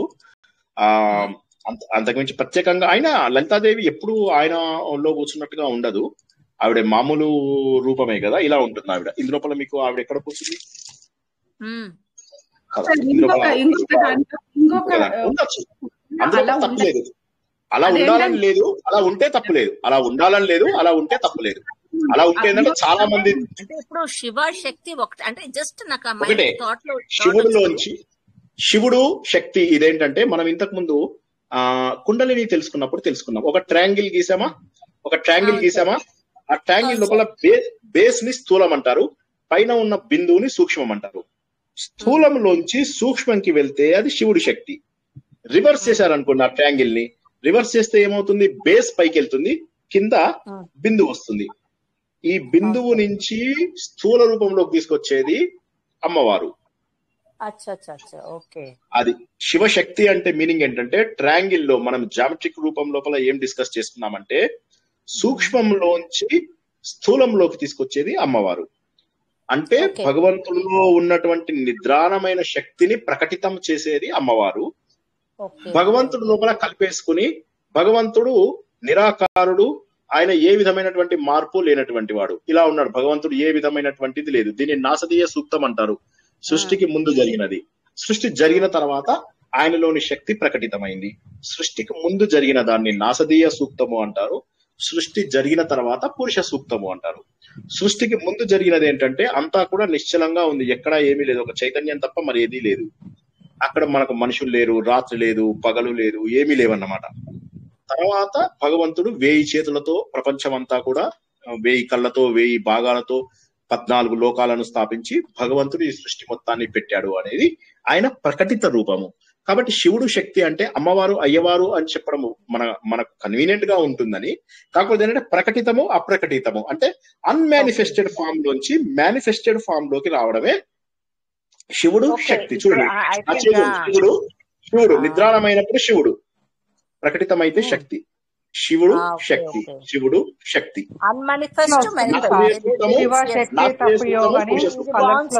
అర్థమైంది ఇప్పుడు. అంటే అన్మానిఫెస్టెడ్ ఫామ్లో శివ. మేనిఫెస్టెడ్ ఫామ్లో అమ్మవారు శక్తి. ఓకే సార్ ఇదే ప్రాకృతిక ఇదే మనం భాగవతంలో గాని వేదాలలో గాని చెప్పుకుంటే ఏమంటాము? నాసదీయ సూక్తము పురుష సార్? నాసదీయ సూక్తము వైసదీయ ఇది ప్రాకృతిక వైకృతిక అంటే ఏంటంటే ముందుగా భగవంతుడు ఇన్ఫ్రాస్ట్రక్చర్ మొత్తము తయారు చేస్తే దాన్ని ప్రాకృతిక సృష్టి అంటారు. ఇన్ఫ్రాస్ట్రక్చర్ అంతా రెడీగా ఉంది ఇంకా జీవులు ఉద్భవించలేదు. మొత్తం ఇన్ఫ్రాస్ట్రక్చర్ రెడీగా ఉంది లోకాలన్నీ తయారయ్యాయి. తయారైన తర్వాత దీన్ని ప్రాకృతిక సృష్టి అంటారు. వైకృతిక సృష్టి అంటే ఏంటంటే తన యొక్క రాజస లక్షణమైనటువంటి బ్రహ్మదేవుడిని పుట్టించాడు. తనలోని తామస గుణమైనటువంటి శివుణ్ణి పుట్టించాడు. తనలోని స్థితి లక్షణమైనటువంటి విష్ణుమూర్తిని పుట్టించాడు. పుట్టించిన తర్వాత బ్రహ్మ చేసేటటువంటి సృష్టి ఏదైతే ఉందో ఎనభై నాలుగు లక్షల జీవరాశులని బ్రహ్మదేవుడు పుట్టిస్తాడు. దాన్ని వైకృతిక సృష్టి అంటారు. పరబ్రహ్మ సృష్టించినటువంటి పద్నాలుగు భువనాలు దా తర్వాత ఈ బ్రహ్మదేవుడు వీళ్ళందరినీ పుట్టించడాన్ని ప్రాకృతిక సృష్టి అంటే తర్వాత వచ్చేదాన్ని వైకృతిక సృష్టి అంటారు. ఈ సృష్టికి ముందు ఉన్నటువంటిది నిద్రాణమైన స్థితి. సృష్టి ప్రారంభమైన తర్వాత ప్రాకృతిక సృష్టి తర్వాత వైకృతిక సృష్టి. జాగ్రత్తగా చూడండి మళ్ళీ ఒక్కసారి అందరూ జాగ్రత్తగా వినండి. ఇది నిద్రాణమైన స్థితి. ప్రళయం వచ్చేసింది. సంపూర్ణ ప్రళయం. ఏమీ లేదు. ఇందులోంచి భగవంతుడి యొక్క సంకల్పం. ప్రాకృతిక సృష్టి జరిగింది. ఇన్ఫ్రాస్ట్రక్చర్ తయారైంది. పద్నాలుగు లోకాలు భువనాలు అన్ని తయారయ్యాయి. తర్వాత వైకృతిక సృష్టి. బ్రహ్మదేవుడు సృష్టించినటువంటి జరాయుజ అండాయుజ ఉద్భిజ ఇంకోటేంటి? అది మొత్తం మీద నాలుగు రకాల ఇవి తయారు చేస్తారనమాట తయారు చేస్తే ఆ జీవరాశులన్నీ పుడతాయి. అది వైకృతిక సృష్టి. Unmanifested manifest in two forms unmanifested ఒకటే. ఇది శివరూపం. శక్తి రూపం రెండు రకాలుగా ప్రకటితమైంది. భగవంతుడి శక్తి తర్వాత తన సృష్టిలోంచి మళ్ళీ సృష్టి చేశాడు. క్లియర్గా ఉందా సార్ ధన్యవాదాలు సార్ అర్థమైంది సార్ ఇప్పుడు. నా సూక్తానికి పురుష సూక్తానికి డిఫరెన్స్ అర్థమైంది నాకు ఇప్పుడు. జై శ్రీకృష్ణ. భార్గవి గారు. మరి మనసులో వాసనలు సంస్కారాలు అవి జన్మ జన్మల నుంచి తీసుకొచ్చినవి ఏర్పడతాయి కదా. అవి పోవాలి అన్నప్పుడు హృదయ గ్రంథి విచ్ఛిన్నం అవ్వాలి. అది విచ్ఛిన్నం అయినప్పుడు మాత్రమే ఈ మనసులో సంస్కారాలు పూర్తిగా పోవడానికి వీలవుతుంది. లేకపోతే పోయినట్టు అనిపిస్తాయి గాని మళ్ళీ ఒక- ఒక్కొక్క పరిస్థితి వచ్చినప్పుడు అవి విజృంభిస్తాయి అన్నది అనుభవం అవుతుంది. అర్థం అవటం కదా. అనుభవం కూడా అవుతుంది. అది అసలు ఇది అంటే ఇప్పుడు హృదయ గ్రంథి విచ్ఛిన్నం అవటం అంటే ఎలా? అసలు ఎలా అర్థం చేసుకోవాలి అన్నది నాకు సందేహం అండి గురువు గారు ఓకే. వీటికే సాధన అంటారు. మనకేంటంటే ఆడవాళ్ళకి మగవాళ్ళకి మూడు ముళ్ళు పడతాయి. ఆడవాళ్ళకేమో పెళ్ళి లోపల మూడు ముళ్ళు పడతాయి. మగవాళ్ళకి పెళ్ళిలో మూడు ముళ్ళు వేస్తారు. మాకు పెళ్ళికి ముందు ఇది ఒక్క ముడే ఉంటుంది. పెళ్ళి తర్వాత మూడు ముళ్ళు వేస్తారు మాకు. మాకు మా మామగారు రెండు ముళ్ళు వేస్తారు. నాన్నగారు ఒక ముడి వేస్తారు. మగవాళ్ళకు మూడు ముడులు ఆడవాళ్ళకు మూడు ముడులు. కొన్ని చోట్ల హస్బెండ్ కడతారు కొన్ని చోట్ల ఆడబడుచు కూడా కడతారు. అట్లాగా ఆడవాళ్ళకు కూడా మూడు ముళ్ళు. మూడు ముడులు అంటే ఏంటంటే మన శరీరం అంతా కూడా కుండలిని వ్యవస్థ లోపల ఉంటుంది. ఈ కుండలిని వ్యవ ఏది చేసినా జరిగేది కుండలినిలో మార్పే. మన పాపపుణ్యాలన్నీ కూడా ఇది కుండలిని అయితే దీని చుట్టూ చేరుకుని ఉంటాయి. మీరు చేసే భక్తి యోగం కర్మయోగం రాజయోగం జ్ఞానయోగం ఏది చేసినా సరే ఇలా పైకి కదులుతూ ఉంటాయి అవి. ఇలా ఇలా ఇలా ఇలా కదులుతూ ఉంటాయి అన్నమాట ఇక్కడ పాపాలన్నీ శుభ్రమైతూ ఉంటాయి. ఇంకొద్దిగా శుభ్రం ఇంకొద్దిగా శుభ్రం ఇంకొద్దిగా శుభ్రం. ఫస్ట్ రెండు అయిపోయినప్పుడు మీకు ఇక్కడ మా రుద్ర గ్రంథి సారీ బ్రహ్మ గ్రంథి తర్వాత విష్ణు గ్రంథి తర్వాత రుద్ర గ్రంథి ఈ మూడు రకాల గ్రంథులు అంటే ముడి అని మీనింగ్ అన్నమాట. ఆ మూడు ముడులు తెగిపోతాయి. తెగిన తర్వాత అప్పుడు మీరు సహస్రారానికి చేరుకుంటారు. మన శరీరంలో ఉన్న ప్రతి రెండు చక్రాలకు ఒక ముడి ఉంటుంది. మూలాధార స్వాదిష్టానము మణిపూరకము అనాహతము విశుద్ధి ఆజ్ఞకు వచ్చేసరికి ఇక్కడ రుద్ర గ్రంథి బ్రేక్ అయిపోతుంది ఒకసారి ఇదంతా కూడా మనం మొన్న కుండలిని నేర్చుకున్నప్పుడు నేర్చుకున్నాం. ఇది బ్రేక్ అయిపోగానే ఇంకా నెక్స్ట్ మిగిలేది సహస్రారం. అయితే ఇది శుభ్రపరచుకోవాలంటే ఏం చేయాలి మనము? కర్మయోగం చేయాలి. నిష్కామ కర్మ నిష్కామ కర్మ చేయాలి? లేదా భక్తి? లేదా జ్ఞానము? లేదా కుండలినికి రాజయోగం అని దాని ద్వారా కూడా బలవంతంగా యాక్టివేట్ చేయించవచ్చు ఇవి చేయించడం ద్వారా ఒక్కొక్కటి బ్రేక్ అవుతాయి. క్లియరా ఇప్పుడు? సాధన ద్వారా మాత్రమే జరుగుతాయి అవి. ఏ సాధన చేసినా సరే ఈ నాలుగిటిలో ఏ సాధన చేసినా కూడా జరుగుతుంది. జై శ్రీకృష్ణ. అర్థమైందండి? ఏదో ఒక సాధన పట్టుకుని మనం బయటపడటానికి అవకాశం ఉంది అన్నది అర్థమైంది. ఉంటుంది. అన్నిటికంటే పవర్ఫుల్ లలిత సహస్రనామం ఉంది కదా. మీకు హిందూ ధర్మంలో మోస్ట్ పవర్ఫుల్ ఏంటి అని ఎవరైనా అడిగితే సరైన ఉచ్చారణతో లలిత సహస్రనామం సరైన ఉచ్చారణతో ఆ విష్ణు సహస్రనామం సరైన ఉచ్చారణతో భగవద్గీతలోని పన్నెండు పదిహేను అధ్యాయాలు. ఈ మూడు మాత్రమే మనకు సరైనటువంటి మంత్రశక్తిని అందజేస్తాయి. ఇందులోపల మంత్రం ఉంది యంత్రం ఉంది శబ్దం అన్ని ఉన్నాయి. వీటి మూడిట్లోకి కూడా మోస్ట్ పవర్ఫుల్ మోస్ట్ మిస్టిక్ రహస్యమైనటువంటిది లలిత సహస్రనామం. కాబట్టి వీలైతే దీని సాధనని మంత్రము చదువుతూ ఒక్క సెకండ్ మంత్రం చదువుతూ ఆ మంత్రాల యొక్క రూపాన్ని భావాన్ని ఊహిస్తూ చేయండి. చేస్తే you will enter into a trance మీకు తెలియనటువంటి ఒక విచిత్రమైన అనుభూతిలోకి వెళ్ళిపోతారు. జై శ్రీకృష్ణ. మేడం రమాదేవి గారు అడగండి. గురువు గారు లలితా సహస్రనామాలని రహస్య నామాలని ఎందుకు అంటారండి అదొక్కటే నాకు మేడం. సార్ వండర్ఫుల్ క్వశ్చన్ ఇందులోపల ఉన్నటువంటి ప్రతి అర్థము కూడా నేను ఇంతకు ముందు చెప్పినట్టుగా ఇప్పటి వరకు రకరకాల ఒక ఒక ఒక లక్ష సహస్రనామాలు ఉన్నాయి. ప్రతి దేవుడికి ఒక సహస్రనామం ఉంది. అన్ని ఉన్నప్పటికీ కూడా ఇందులోపల తత్వం ఇవిడి ఉంది. ఏంట తత్వం? ఏంటంటే మన సృష్టి రహస్యం. ఈ సృష్టి రహస్యం ఇంకెక్కడా లేదు. ఏ సహస్రనామాలలో కూడా సృష్టి రహస్యం లేదు. ఇందాక చెప్పినట్టుగా తొమ్మిది ఆవరణల లో మనకు ఈ ప్రపంచం ఏర్పడింది. అవ్యక్తం వ్యక్తం మహత్తు అహంకారం. పంచ జ్ఞానేంద్రియాలు పంచ కర్మేంద్రియాలు పంచ ప్రాణాలు పంచభూతాలు పంచ తన్మాత్రలు ఇవి ఐదు ఇవి నాలుగు తొమ్మిది ఆవరణలు. ఈ తొమ్మిది ఆవరణలలో సృష్టి ఏర్పడింది. ఈ సృష్టిలో ఈ సృష్టి యొక్క రహస్యం ఇందులో ఉంది. ప్రతి నామము వెనక ఒక రహస్యం ఉంది. ఇప్పుడు ఇందాక చెప్పినట్టుగా చిదగ్నికుండ సంభూత అంటే ఒక అర్థమేమో అమ్మవారు అగ్నిగుండంలోంచి వచ్చిందనే ఒక అర్థం అయితే ఇంకొకటేమో మన శరీరంలో వచ్చినటువంటి అగ్ని ద్వారా మన వీటినన్ని పోగొట్టుకుంటామని. ఒక చేతిలో చెరుకు గడ ఉంది మరో చేతి లోపల ఇంకోటి ఉంది అంటే అది కాదు అర్థం దాన్ని. దాని అర్థం ఏంటంటే మన మనస్సుని ఇంద్రియాలను నిగ్రహించుకోవాలి. ఇలాగా ప్రతి అక్షరం వెనుక ప్రతి నామం వెనుక ఒక అర్థం ఉంది. ఆవిడ భగవత్ స్వరూపము. శ్రీమాత శ్రీ మహారాజ్ని శ్రీమత్ సింహాసనేశ్వరి. సింహ అంటే హింస అని అనుకున్నాం. సింహంని రివర్స్ చేసి హింస అనుకున్నాం. అలాగా మీకు రహస్యమైనటువంటి పదాలు ఇందులో చాలా ఉన్నాయి. కుండలిని విద్య ఉంది మంత్ర యంత్ర స్వరూప ఇవన్నీ మనకు ఐదు విద్యలు ఉన్నాయి. ఇవి కాక తాంత్రిక విద్యలు కూడా ఇందులో ఉన్నాయి. అది మనం తెలుసుకుందాం. ఇప్పుడు ఏమైందంటే మనకు ఆ, ఈ ఐదు ముందు చెప్పుకుందాం అనుకున్నాము. ఇంకొక మూడు నుంచి నాలుగు వారాలలో మనకు మంత్రంది కూడా అయిపోతుంది. ఇది ఒక రెండు వారాలు పడుతుంది ఇంకొక రెండు వారాలు. ఇది స్వరూపం రెండు ఇంకొక రెండు వారాలు.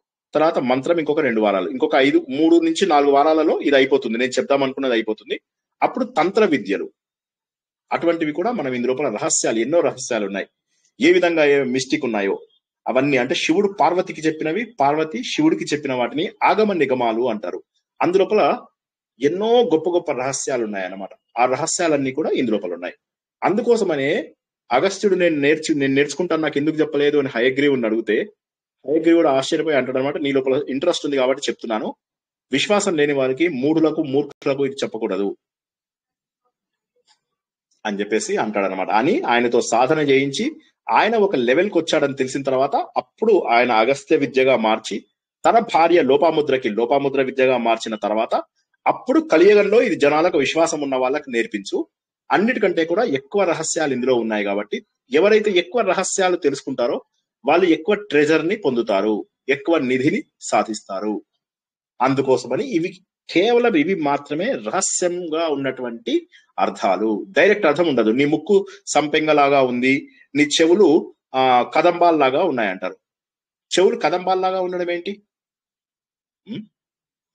అంటే సూర్య చంద్రుడు కర్ణాభరణాలు ఇవి రెండు దిక్కులకు ఇవి. ఈ దిక్కులను సూచిస్తూ సూర్యుడు చంద్రుడు ఒకరి నుంచి ఒకరు వస్తూ ఉంటారు కాబట్టి కదంబం లాగా ఉన్నాయి అని. అంటే సూర్య చంద్రుల రూపం కూడా నీలోంచే వచ్చింది అని చెప్పి చెప్పడం. ఇక్కడ నిశ్చలంగా ఉంది అంటే మీనింగ్ ఏంటి? అష్టమి చంద్రుడు ఏ విధంగా నిశ్చలంగా ఉంటాడో మనం జీవితంలో కూడా అలా స్టేబుల్ మైండ్ తోటి ఉండాలి అన్నటువంటి అర్థము. ఇక్కడ సింధూరము ఉండాలి అంటే ఏంటి? నేను నిరంతరము ఆత్మస్వరూపుడను అని చెప్పేసి తెలుసుకోవాలి అనేటటువంటి రహస్యం. ఇలాగా ఎన్నో తత్వాలను మిగతా వాటిలో ఇప్పుడు దక్షిణామూర్తి తత్వంలో కూడా చాలా ఉంటాయి. ఇలా చాలా వాటిల్లో తత్వాలు ఉన్నాయి ఇందులో హైయెస్ట్ లెవెల్ ఆఫ్ తత్వ జ్ఞానం ఉంది. అది రహస్యంగా ఇమిడి చేసేసారన్నమాట. దానికి భాషణం చేస్తే తప్ప అర్థం కాదు. పారాయణం ఎంత గొప్పదో దాని ఉచ్చారణ ఎంత గొప్పదో దాని అర్థం తెలుసుకుని దాన్ని భావిస్తే ఇందాక నేను చెప్పే కదా ఖూజేతో తురతుమిలు జావు ఎక్పల్కి తలాషిరే. వెతికితే ఒక్క క్షణంలో దొరుకుతాను అని చెప్పి భగవంతుడు చెప్పాడు కదా అలాగే లలిత సహస్రనామంలో ఖచ్చితంగా భగవంతుడు కనిపిస్తారు కాబట్టి సరైనటువంటి సాధన చేయండి. మనస్ఫూర్తిగా రోజుకు ఒక్కసారి చేయండి. ఖడ్గమాల కూడా నేర్చుకున్న తర్వాత అది కూడా చేయండి. జై శ్రీకృష్ణ. థ్యాంక్ యూ గురువు గారు థ్యాంక్ యూ గురువు గారు అనక్కలేదు శ్రీనివాస్ గారు అంటే చాలు. అందరికీ అదే. సో మేము మీ దగ్గర నుండి నేర్చుకుంటున్నాం కాబట్టి మీరు మా గురువులే. తెలియని విషయాలను నేర్చుకుంటున్నారు మీరు చెప్తున్నారు కాబట్టి మేము మీకు శిష్యులం మీరు మా గురువులే. మీరంతా కూడా నా మా గురువులే. మీరందరూ నా గురువులే.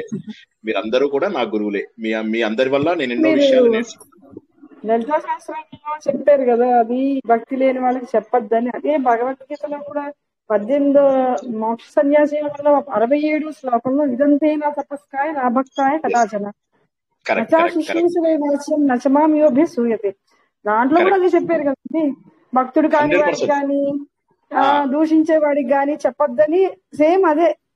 చెప్పారు. ఆ అవును అప్పుడు బాగా చెప్పారు. అవును కరెక్ట్ యు ఆర్ రైట్ అదేనండి. గుర్తొచ్చింది. సడన్గా మీరు అన్న మాట దీంట్లో wonderful wonderful I'm very happy మీరు అందరూ అర్థం చేసుకుంటున్నారు అట్లీస్ట్ రియాక్ట్ అవుతున్నారు. అందుకే ఇక్కడ వన్ వే పెట్టలేదు. ఇది always it's a two way అలా అయితేనే ఎక్కువ ఎక్కువ విషయాలు నాకు తెలుస్తాయి ఎక్కువ విషయాలు మీకు తెలుస్తాయి.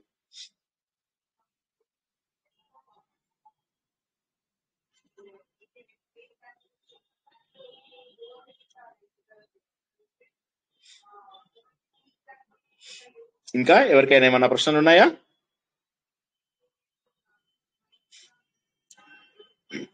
ఈ మండే నాడు సారీ రేపేమో భగవత్ భాగవతము ఆ, దశమ స్కందము మనము ప్రారంభించుకుంటాము. సోమవారం నాడు భగవద్గీత పునశ్చరణ ఉంటుంది. మంగళవారం నాడు శ్రీమన్నారాయణీయము రెండవ భాగం ఉంటుంది. మనం మొదటి భాగాన్ని గత నెలలో తెలుసుకున్నాము. ఆ, సో ఈ వారం నాలుగు ప్రవచనాలు ఈ రోజు ఒక ప్రవచనం అయిపోయింది. రేపు సండే నాడు ఏ ప్రవచనాలు లేవు నాకు పర్సనల్ పనులు ఉన్నాయి. మండే నాడు మనము భగవద్గీత పునశ్చరణ ఆరవ అధ్యాయంలో మనము యమ నియమ ఆసన ప్రాణాయామ ప్రత్యాహారాలు వాటికి భగవంతుడు ఇచ్చినటువంటి మూడు పద్ధతులు. ఆ మూడు పద్ధతులు ఏంటి? అభ్యాస వైరాగ్యము క్రియాయోగము అష్టాంగ నియమాలు అనేటటువంటి అద్భుతమైన విషయాలని భగవంతుడు ఒక్కొక్కరికి వారి వారి పరిణతిని బట్టి చెప్పాడు. అది ఆరవ అధ్యాయం మనము పునశ్చరణ చేసుకుంటున్నాము. సోమవారం సాయంత్రం. మంగళవారం రాత్రి ఎనిమిది గంటలకు మనము శ్రీమన్నారాయణీయము ఆ తెలుసుకుంటాము. ఈ శ్రీమన్నారాయణము మినీ భాగవతం కాబట్టి అందులో ఉన్నటువంటి అన్ని విషయాలు ఇందులో చాలా చక్కగా తెలుపబడ్డాయి. తర్వాత ఇది గురువాయూర్లో జరిగింది కాబట్టి గురువుకి వాయువుకి సంబంధించింది. అంటే మనస్సుకు బుద్ధికి సంబంధించింది. కాబట్టి ఆ అది నే- అది కూడా ఆ మనం తెలుసుకున్నటువంటి జ్ఞానాన్ని గట్టిపరుస్తుంది. కాబట్టి ఈ నాలుగు ప్రవచనాలు అందరూ తప్పక జాయిన్ అవ్వండి. నేను వీలైనంత వరకు నా అంటే నా పద్ధతి ఏంటంటే తెలిసిన విషయాలే చెబుతూ తెలిసినట్టుగానే ఉంటూ రెండు కొత్త పదాలు ఇంట్రడ్యూస్ చేస్తాను. తెలిసినట్టుగానే ఉంటుంది. అప్పుడు ఏమవుతుందంటే మీకు శ్రమ తక్కువైతుంది అనమాట వాడు బేతాళుడు విక్రముడికి ఆయన చెప్తూ ఉంటాడు కదా బేతాళుడు చెప్తుంటాడు నీకు శ్రమ తెలియకుండా కొన్ని కథలు చెప్తాను వీరు అంటాడు కదా. అలాగే నేను కూడా మీకు శ్రమది లేకుండా ఎంత తక్కువ పెయిన్ఫుల్గా ఉంటే అంత తక్కువ పెయిన్ఫుల్గా ఈ విషయాలను అర్థం చేయించడానికి వీలైనంత సులభమైన భాషలో ఎక్కడ వీలైతే అక్కడ ఇంగ్లీష్లో చెబుతూ ఎక్కడ వీలైతే అక్కడ తత్వాన్ని తెలియజేస్తూ తెలిసిన విషయాల ద్వారా తెలియని విషయాలను తెలియజేయడానికి ప్రయత్నం చేస్తున్నాము. తప్పక సాధన చేయండి సాధన వదలకండి. ఎవరి కోసము కాదు ఎవరిని నమ్ముకోకండి. మీకు మీరే శత్రువులు మీకు మీరే మిత్రువులు ఉద్ధరేదాత్మన ఆత్మానం అది గుర్తుంచుకోండి. ఎవరిని వారే ఉద్ధరించుకోవాలి. ఇంకేమి ఒక్క నిమిషంలో ఏం ప్రశ్న లేకపోతే ఈ రోజు ప్రవచనం ముగించుకుందాం. రేపు ఎప్పట్లాగే మధ్యాహ్నం మూడున్నరకి భాగవతం దశమ స్కందము ఈ నిన్ననే అయింది శ్రీకృష్ణాష్టమి. సో రేపు శ్రీకృష్ణుడి యొక్క చరిత్ర దశమ స్కందం తెలుసుకోబోతున్నాము. భాగవతంలో దశమ స్కందము ముఖము లాంటిది. శరీర భాగాలు పన్నెండు భాగాలు అయినట్లయితే అందులో ముఖం అనేటటువంటిది దశమ స్కందము కాబట్టి అటువంటి అద్భుతమైనటువంటి దశమ స్కందాన్ని మనము రేపు ప్రారంభించుకుంటాం. ఇంకొక థర్టీ సెకండ్స్లో ఎవరికి ఏం ప్రశ్న లేకపోతే? సంస్కృతం నేర్చుకోవాలని ఉందండి ఎవరి దగ్గర నేర్చుకోవాలండి? అసలు ఆ వివరాలు లింకులు పెడతారా అండి? ఆ, గ్రూప్ లోపల కూడా పెడతాను. సంస్కృతము ఒకటేమో మనకు ఆ దశదిన శిబిరాలు స్టార్ట్ అవుతాయి. ఆ దశదిన శిబిరం స్టార్ట్ అయినప్పుడు వాటిలో జాయిన్ అయ్యి కొంత నేర్చుకోవచ్చు. తర్వాత ప్రవేశ ఇలా కొన్ని లెవెల్స్ ఉన్నాయి వాటిలో కూడా నేర్చుకోవచ్చు.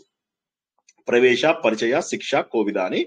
ఇది కాక నేను కూడా అక్టోబర్ నుంచి ఆ, కపిల గీత తర్వాత సంస్కృతం క్లాసులు ప్రారంభించబోతున్నాను.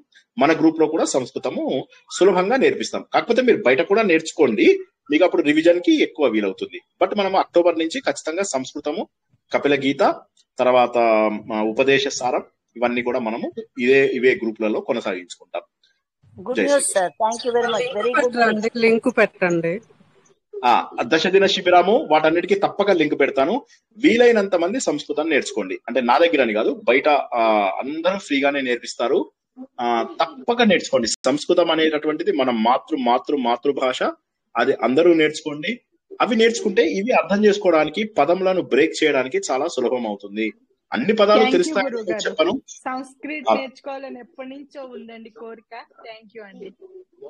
థ్యాంక్ యూ గురువు గారు నమస్తే అండి. ఎన్ని రోజులు? ధన్యవాదములు మహోదయ.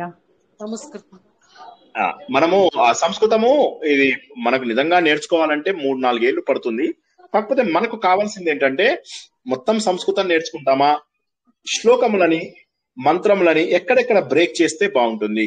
ఎక్కడెక్కడ అన్వయ క్రమం అని అంటారు. ఆ అన్వయ క్రమం నేర్చుకోగలిగే స్థాయికి వస్తే ఆపేసుకోవచ్చు. అన్వయ క్రమము చేసుకోగలిగే స్థాయికి వస్తే ఆపేయవచ్చు. ఎందుకంటే మన గ్రంథాలన్నీ కూడా సంస్కృతంలోనే ఉన్నాయి.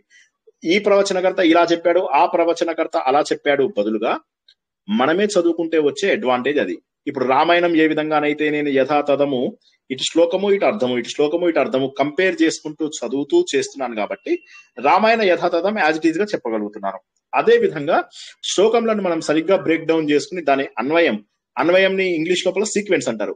ఆ సీక్వెన్స్ కరెక్ట్గా మనం రాసుకోగలిగితే మనము సంస్కృతం ఇంకోసారి ఇంకా ఇక తర్వాత కంటిన్యూ చేయాలా లేదా అనేది మన శక్తిని బట్టి. జై శ్రీకృష్ణ. జై శ్రీకృష్ణ.